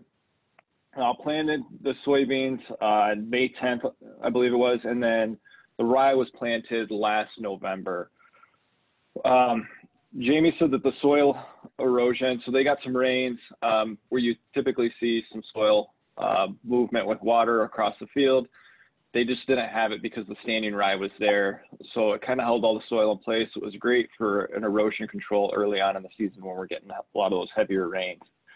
Uh, from a weed control aspect, it just did tremendous. It choked out a lot of the weeds. Uh, it really reduced the population of water hemp that they typically see out there, controlled some ragweed. Um, the one thing that they would say is that they would have liked to have planted the rye earlier, um, so you know maybe September instead of that November timeframe, so that the rye could have gotten more established and got a little bit further ahead of those soybeans. They really are keen on the soybean being planted early on, and, and the reason for that is that the big fear is that the later we plant the soybeans, um, they start competing for moisture. So the soybeans will will not get as much moisture because the rye just starts sucking that up and and using all of it and and kind of leaves the soybean. So they notice in some low spots that they kind of that they have some of that. There's some struggling with the soybeans. Um, the main reason they did this too was to reduce their tillage. They wanted to reduce the amount of passes that they had to make on their fields. And so this was a great way to do it. They got a nice big canopy from the rye. Um, and then the soybeans started to grow up and the, the soybeans look tremendous. So if we go to the next one, you'll see the soybeans as they grow. On the right there, they've gotten a lot bigger, um, starting to flower the problem that they they noticed that they were having with the rye is that it's very similar to soybeans. So you're you're limited to time frame of when to harvest because it'll pick up moisture, and so you really need it to be lower. So they're they're basically harvesting between that one one o'clock in the afternoon until about nine o'clock when they have to shut down. That's when they start to notice the rye's taking on moisture again, so they shut down about that point. Um, the uh, the benefit, the other thing that they've noticed with their harvest is that the timings really matters because as they're harvesting the rye, they're able to stay ahead, um, keep the header above the soybeans, so they're not clipping the soybeans or taking quite a bit uh, off and getting a bulk of it. But since they have the limited time frame for harvesting, they're getting across fewer acres throughout the day. And with that, now the soybeans are starting to catch up to the same size and height because they're going to try and grow to find that sunlight.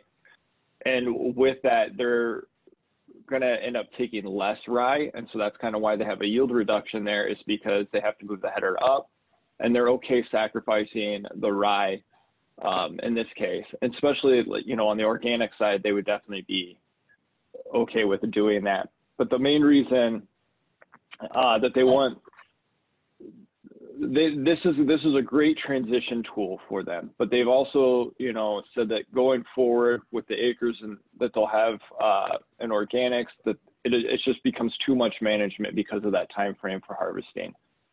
And so if we look at the cost um, and their budget, it it does a, a really good job at kind of equalizing things, but it does take a lot more time management around the harvest time frame.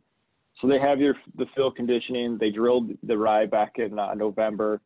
They did put on one and a half tons of manure. One thing that you know I'd stress, kind of like Bryce has mentioned, is that you know when we're putting on manure with small grains, um, especially when you have a companion like soybeans that also helps produce some nitrogen. The I, the max that I've ever felt comfortable with, even recommending to people, is one and a half tons and that you know typically the one ton is a little bit better and usually gives what you, you need.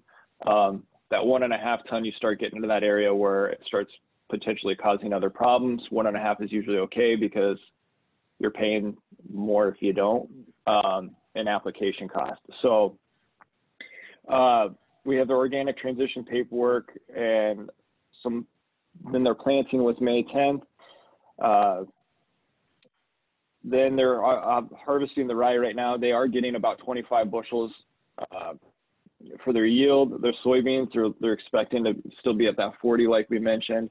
Uh, one thing about the rye, uh, why they have eight dollars a bushel, is because this is the contract farm. So they they were uh, approached to grow this on contract, and so you know that price might vary depending on where you're at and the need for rye and what those kind of markets look like but you can see that their total uh, cost, excluding the rent, is about $264. they'll net about 200 for the rye and hopefully about 320. Um, you know, as as we try to determine where the soybean prices will land. Um, so total revenue is about $520, and then their gross income is about 246.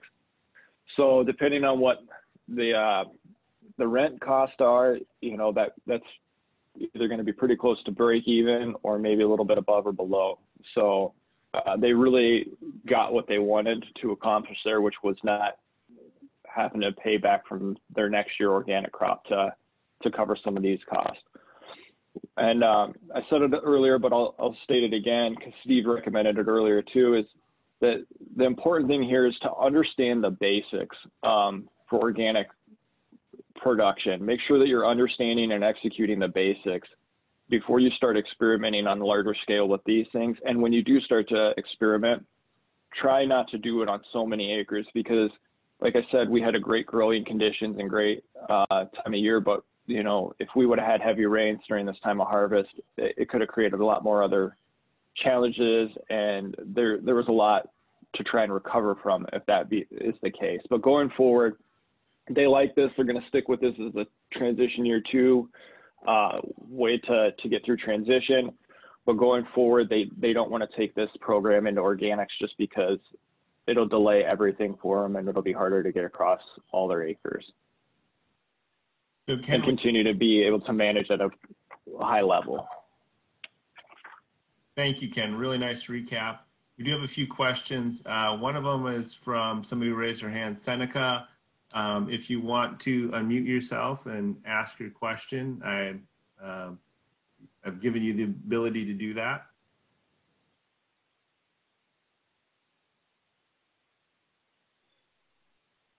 Sorry, I think that was a um, mistake. Thank you. Okay, no worries. Uh, we do have a few other questions. So, uh, do you know what the row spacing was on the rye and soybeans? And then, you know, when they planted the rye, did they leave a gap so that the soybeans could be drilled in uh, uh, in the uh, in the spring? Yeah, great question. Uh, and so what they did is that they plugged um, rows on the on their drill, and then that way that they left it perfect for their 30 inch spacing soybeans. And so that they just came in and drilled. They had their their rows basically set for them. Came in and drilled the soybeans in between there. So that way they they didn't have to worry about rye growing up in between the soybean plants themselves. Thank you, Quinn. So, Ken, 15 inch rows on the on the rye, and then split the rye with the soybeans on 30 inches. Correct. All right. Any other questions for uh, Ken on the rye soybean intercropping? If not, well, and you can think about any other questions you have in intercropping interim in the system. Bryce is going to go Right. through uh, the pros and cons. Yeah, so after intercropping for three years and, and seeing the as we saw through the presentations, the different variations around the around the Midwest, uh, there there are some pros and cons that we'd like to sum up and, and let everybody know what we learned.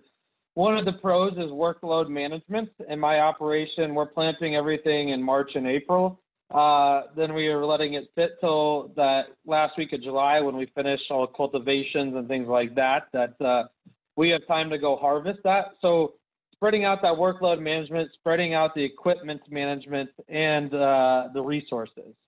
Uh, enhanced revenue potential, understanding that small grains are possible, but uh, we, we need to look at ways to enhance the revenue in the Midwest, as well as crop diversity. This is one of the important things for our, our farm, supports rotation and longevity of an organic farm. Having options. In the corn and soybean uh, rotation, there's not very many options to, to support long-term longevity, meaning I can fall seed alfalfa or I can come back with rye and have a really good chance of success of rolling rye and soybeans. So supporting the overall goal of organic uh, intercropping or small grains has that potential. Uh, learning opportunity. I find it kind of fun to to do different things. Uh, we always get neighbors stopping by asking. I mean, in our pea and canola field, uh, about the week of June 15th, it all turned yellow, and then two days it all it all turned white because the peas were flowering, and so we have a, a lot of learning growth and potential in that, and, and market growth in peas and canola as well. Uh, so some very good things about it.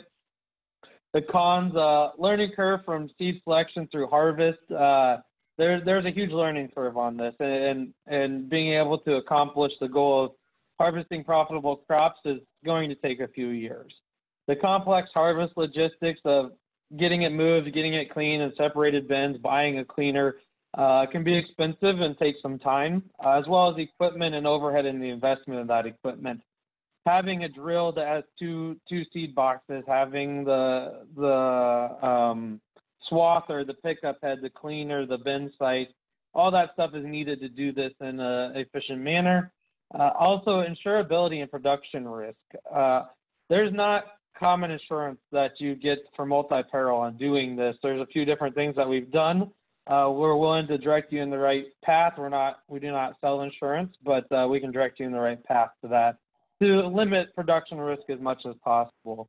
But overall, uh, intercropping, whether it's wheat and beans, it's rye and beans, it's peas and canola, it's oats and peas, barley and peas, uh, we feel like there's good potential. We have a lot more learning to do, but that's that's why we're in organic. If we if we wanted to uh, um, not learn and, and, be on the advanced cutting edge, we we would go back to conventional and go to the spraying and cutting and and har- or spraying and harvesting. And so I think that's why a lot of people are here today is to do this kind of stuff and push the edge. Uh, the takeaways intercropping, potential benefits, details need additional development. Some of those are the seeding rates, maturity dates for improvement of harvestability. Marketing often often challenging but critical, and I'm feeling more comfortable year by year on this. Uh, really planning is key on an operation. Understanding costs, understanding logistics, understanding how this entire process moves through. Otherwise, you can get into some some real trouble doing this. Uh, opportunity to, to push the boundaries, as I just got talk, done talking about. Uh, it, it's really exciting. You know, it's fun going out there with a pickup head, a swather, doing new things, different things, uh, uh, and really pushing the limit. So with that, thank you, Bryce. We're going to open it up to uh, Q&A. Uh, so feel free to raise your hand or put in other uh, questions that you have. We have a few out there, so I'm going to start with uh, the ones from that it seemed like to be follow-ups from the rye discussion. So one was, do you think it'd work to just let the rye mature, not harvest it, and just combine the soybeans? I don't know, Ken or Bryce, uh, would one of you want to take a shot at answering that? I can. Um, so I've seen people do that in conventional and in organic, and I've seen it be successful. Uh, the the issue you're going to get is having rye in your field for a long time. So that automatically kicks you out of most small grain markets having that much rye that's going to be volunteer coming back in your field and if you, you can till it all the way into May and it's still going to have rye seed. If you you're talking about putting 30 40 bushels of rye down I wouldn't recommend doing that uh, just because of having that rye seed in the quantity and the amount of seed that's that's left over. But I have seen it be successful. Bryce I think that you kind of touched upon the next question was can volunteer rye in a subsequent wheat crop decrease wheat value?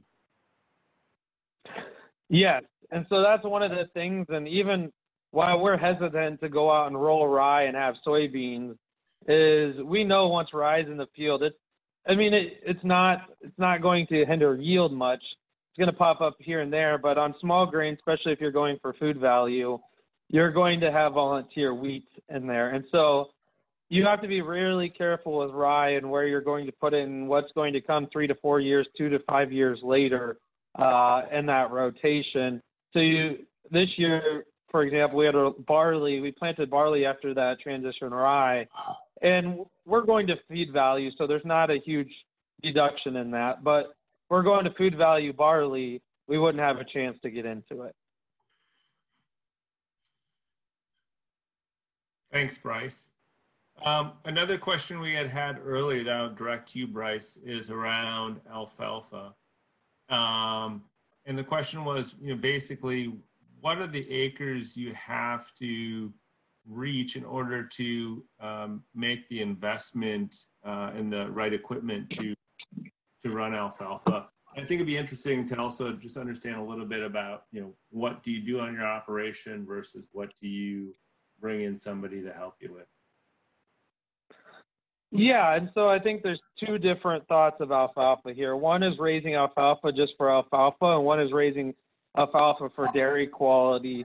If I'm raising alfalfa for uh, grinder hay or beef cattle or horses or something that doesn't require the attention or or uh, expertise to do, you can do alfalfa at a very small level, 100, 150, 160 acres with a, a fairly cheap rake and, and cutter and, and baler. Um, and so I think that's one school of thought. If you're going to do alfalfa at scale and do it for uh, quality, what our number, my numbers are showing is no less than 500 acres of, of alfalfa, which is very significant when you talk about four cuttings on there. And raising it for dairy quality alfalfa, you need the right rake, which is expensive. We do everything wet baled, uh, so we have a baler that bales it and wraps it all in one all in one machine. Uh, not very pretty pretty expensive. Uh, you have to have the right way to move those bales, store those bales, and so the investment in doing something like that is very significant. So two different ways to think about alfalfa and two different investments. One, I would say minimum 500 acres. The other one, 100 to 160 acres. Uh, one thing we do on our farm that uh, helps us is we do uh, hire quite a bit of the workload out to different aspects of our production. And one of those is we hire all the cutting of our alfalfa. Um, and we do that because we want it cut almost all together. So we have two or three people that cut for us and it really reduces our workload. And we get charged anywhere from twelve to fifteen dollars an acre. We've started doing all the raking and baling as that is where the valuable part, having a good set rake, not getting ash and dirt in the, the alfalfa, keeping the leaves, raking at certain times is, is huge for us. Um, and doing our own baling because we're wrapping wet hay. And so figuring out what you're good at, what you can do, uh, just because you're doing it yourself doesn't mean there's no cost there. You still got to buy the equipment. You still got to sit in it. You still got to fix it. Still got to put fuel in it. There's cost to doing it yourself, and understanding those costs compared to what you can hire it for can really make a change on an organic operation with the entire workload that has to occur. Thank you. Ken, prior to the the webinar, we got a question from uh, a participant who registered around rolling and crimping rye before soybeans. Uh, you know, that's a concept that's widely discussed, and I didn't know if you wanted to share your perspective on on where it fits or um, how uh, some of the challenges and opportunities with rolling and crimping. Yeah, so from my experience and from what I've seen is that roll crimping rye is a great idea and it works wonderful if everything executes perfectly.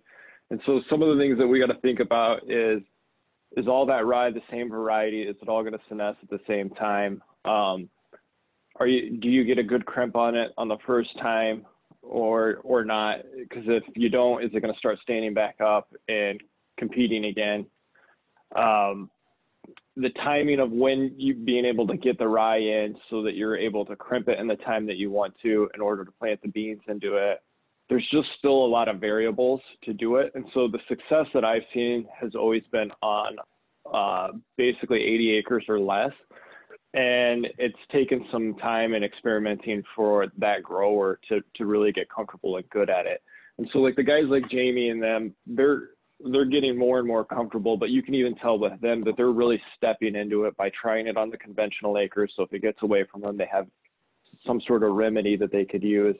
But then, you know, they didn't just go right out to roll crimping it. They wanted to see how, you know, make sure that they were seeing the timing of everything again for a second year. But this time they took it a step further and did it on the transition. So they got more of an idea as to what it would be like in the organic time frame and so you know they're they're going to continue to move forward and, and try and do things like that but you know there's still some hesitancy and then once you get too many acres like that, if some of them start to get away from you, you could end up setting yourself up for a disaster. Not only that year, but you know, long term, as as Bryce mentioned, you're going to add a lot of rye back into your into your field, and that could complicate some of your other crops that you're going to have down the road.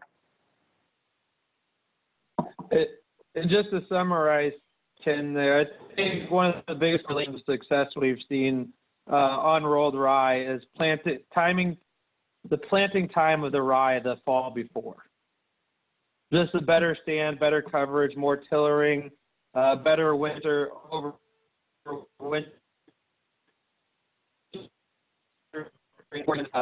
Success we've seen on our the growers operations we've worked with.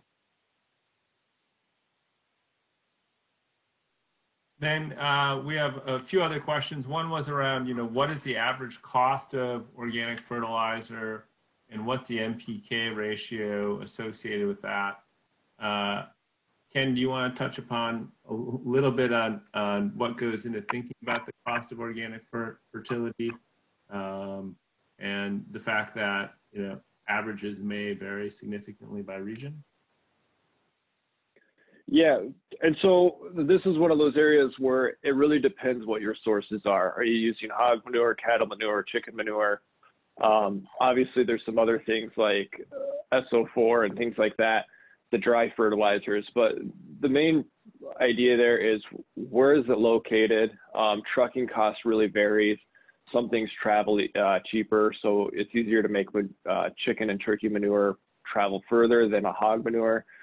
Um, but if you have that as a source in your area, the nutrients vary from product to product. So, um, and then on top of that, they, they vary from site to site. And so in our area, there's probably eight different barns that we can pick from. Um, and they vary uh, anywhere in cost from 25 to $35 picked up.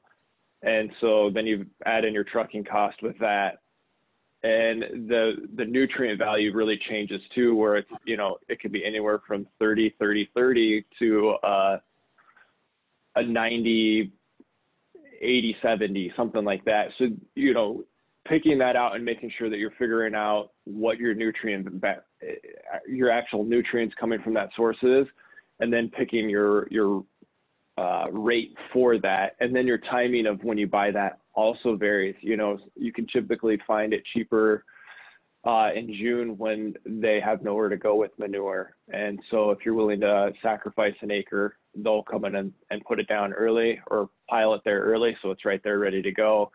And that might benefit you getting it spread at a quicker rate. Winter Wintertime's a great time to also factor those types of things in. Um, but it really varies. And then picking your rotation as to when the timing is. So we always put our manure on before we put our corn out there, and then we don't really we put enough to to take care of the removal rates from that year and what the removal rates would be for our soybean crop following that. And you know maybe we might do something with a small grain before we go back to our small grains. We might put a little bit more out there, but it really depends on your rotation, and that's why it's really good to take the time to plan these things out and really figure out, you know, what that's going to be. We have guys that are still that are working on their nutrient uh, plans that are two three years out from now that way that they can you know try and lock in certain quantities that they they believe they're going to need thank you ken uh, anything to add to that bryce or amy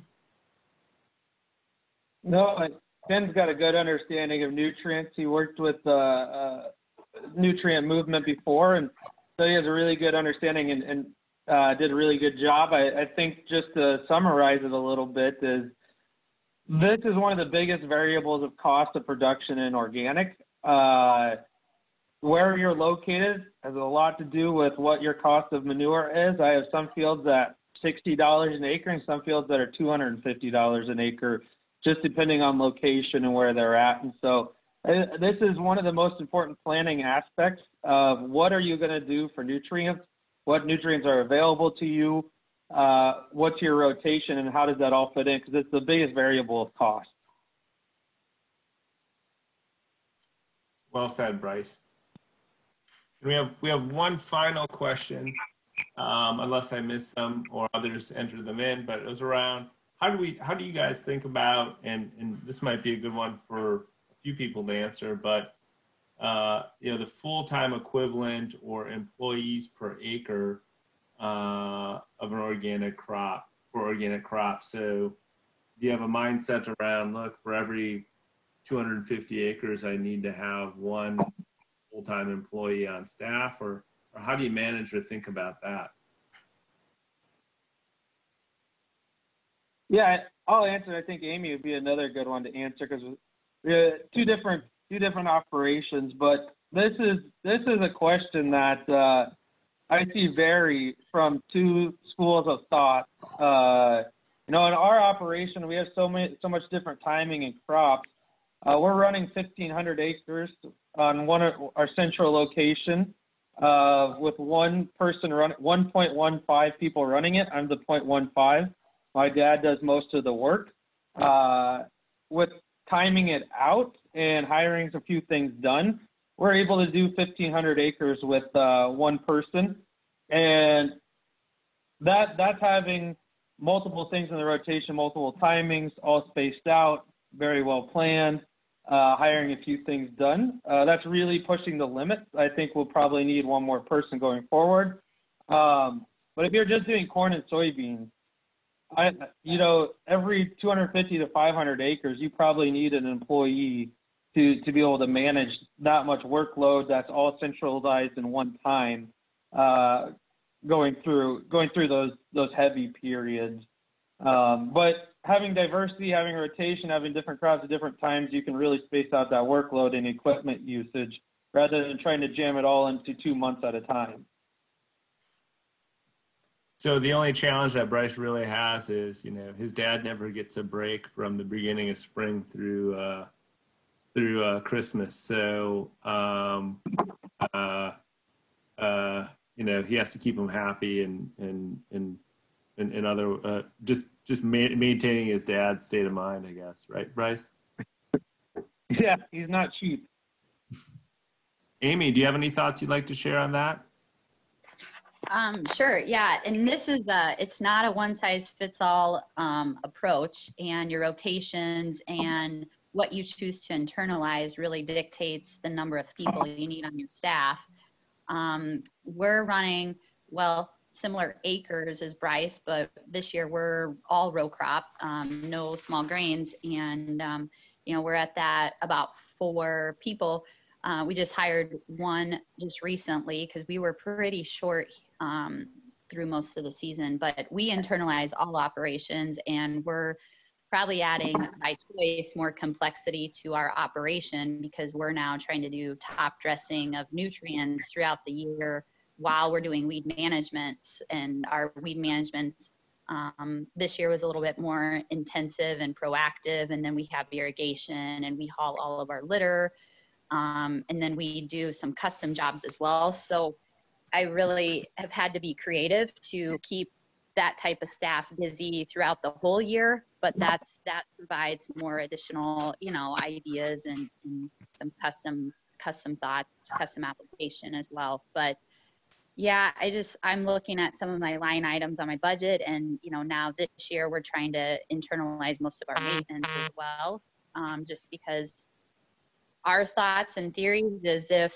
you know if you can rely on yourself a lot more, um, you know you're gonna get there in those windows that you need to hit um, to get the results you want. So I don't have to wait in line to get the service that I need because I only have to look at myself to provide that. So there just is a lot of, and that's kind of with the whole philosophy on organic. That's what it make. That's what makes it really fun. There isn't a one size fits all approach to any operation, and you can kind of just visit with several different people that are in organic and take and apply a few things from every operation to to your own and and really kind of make it make it fit what um, you know what your resources are what your goals are and your management style. So it it just provides um, a lot of creativity i say in the long run. But yeah our, our approach is is a little bit different. But um, both ways to approach it are are seem to work for um, bryce and our operation too. So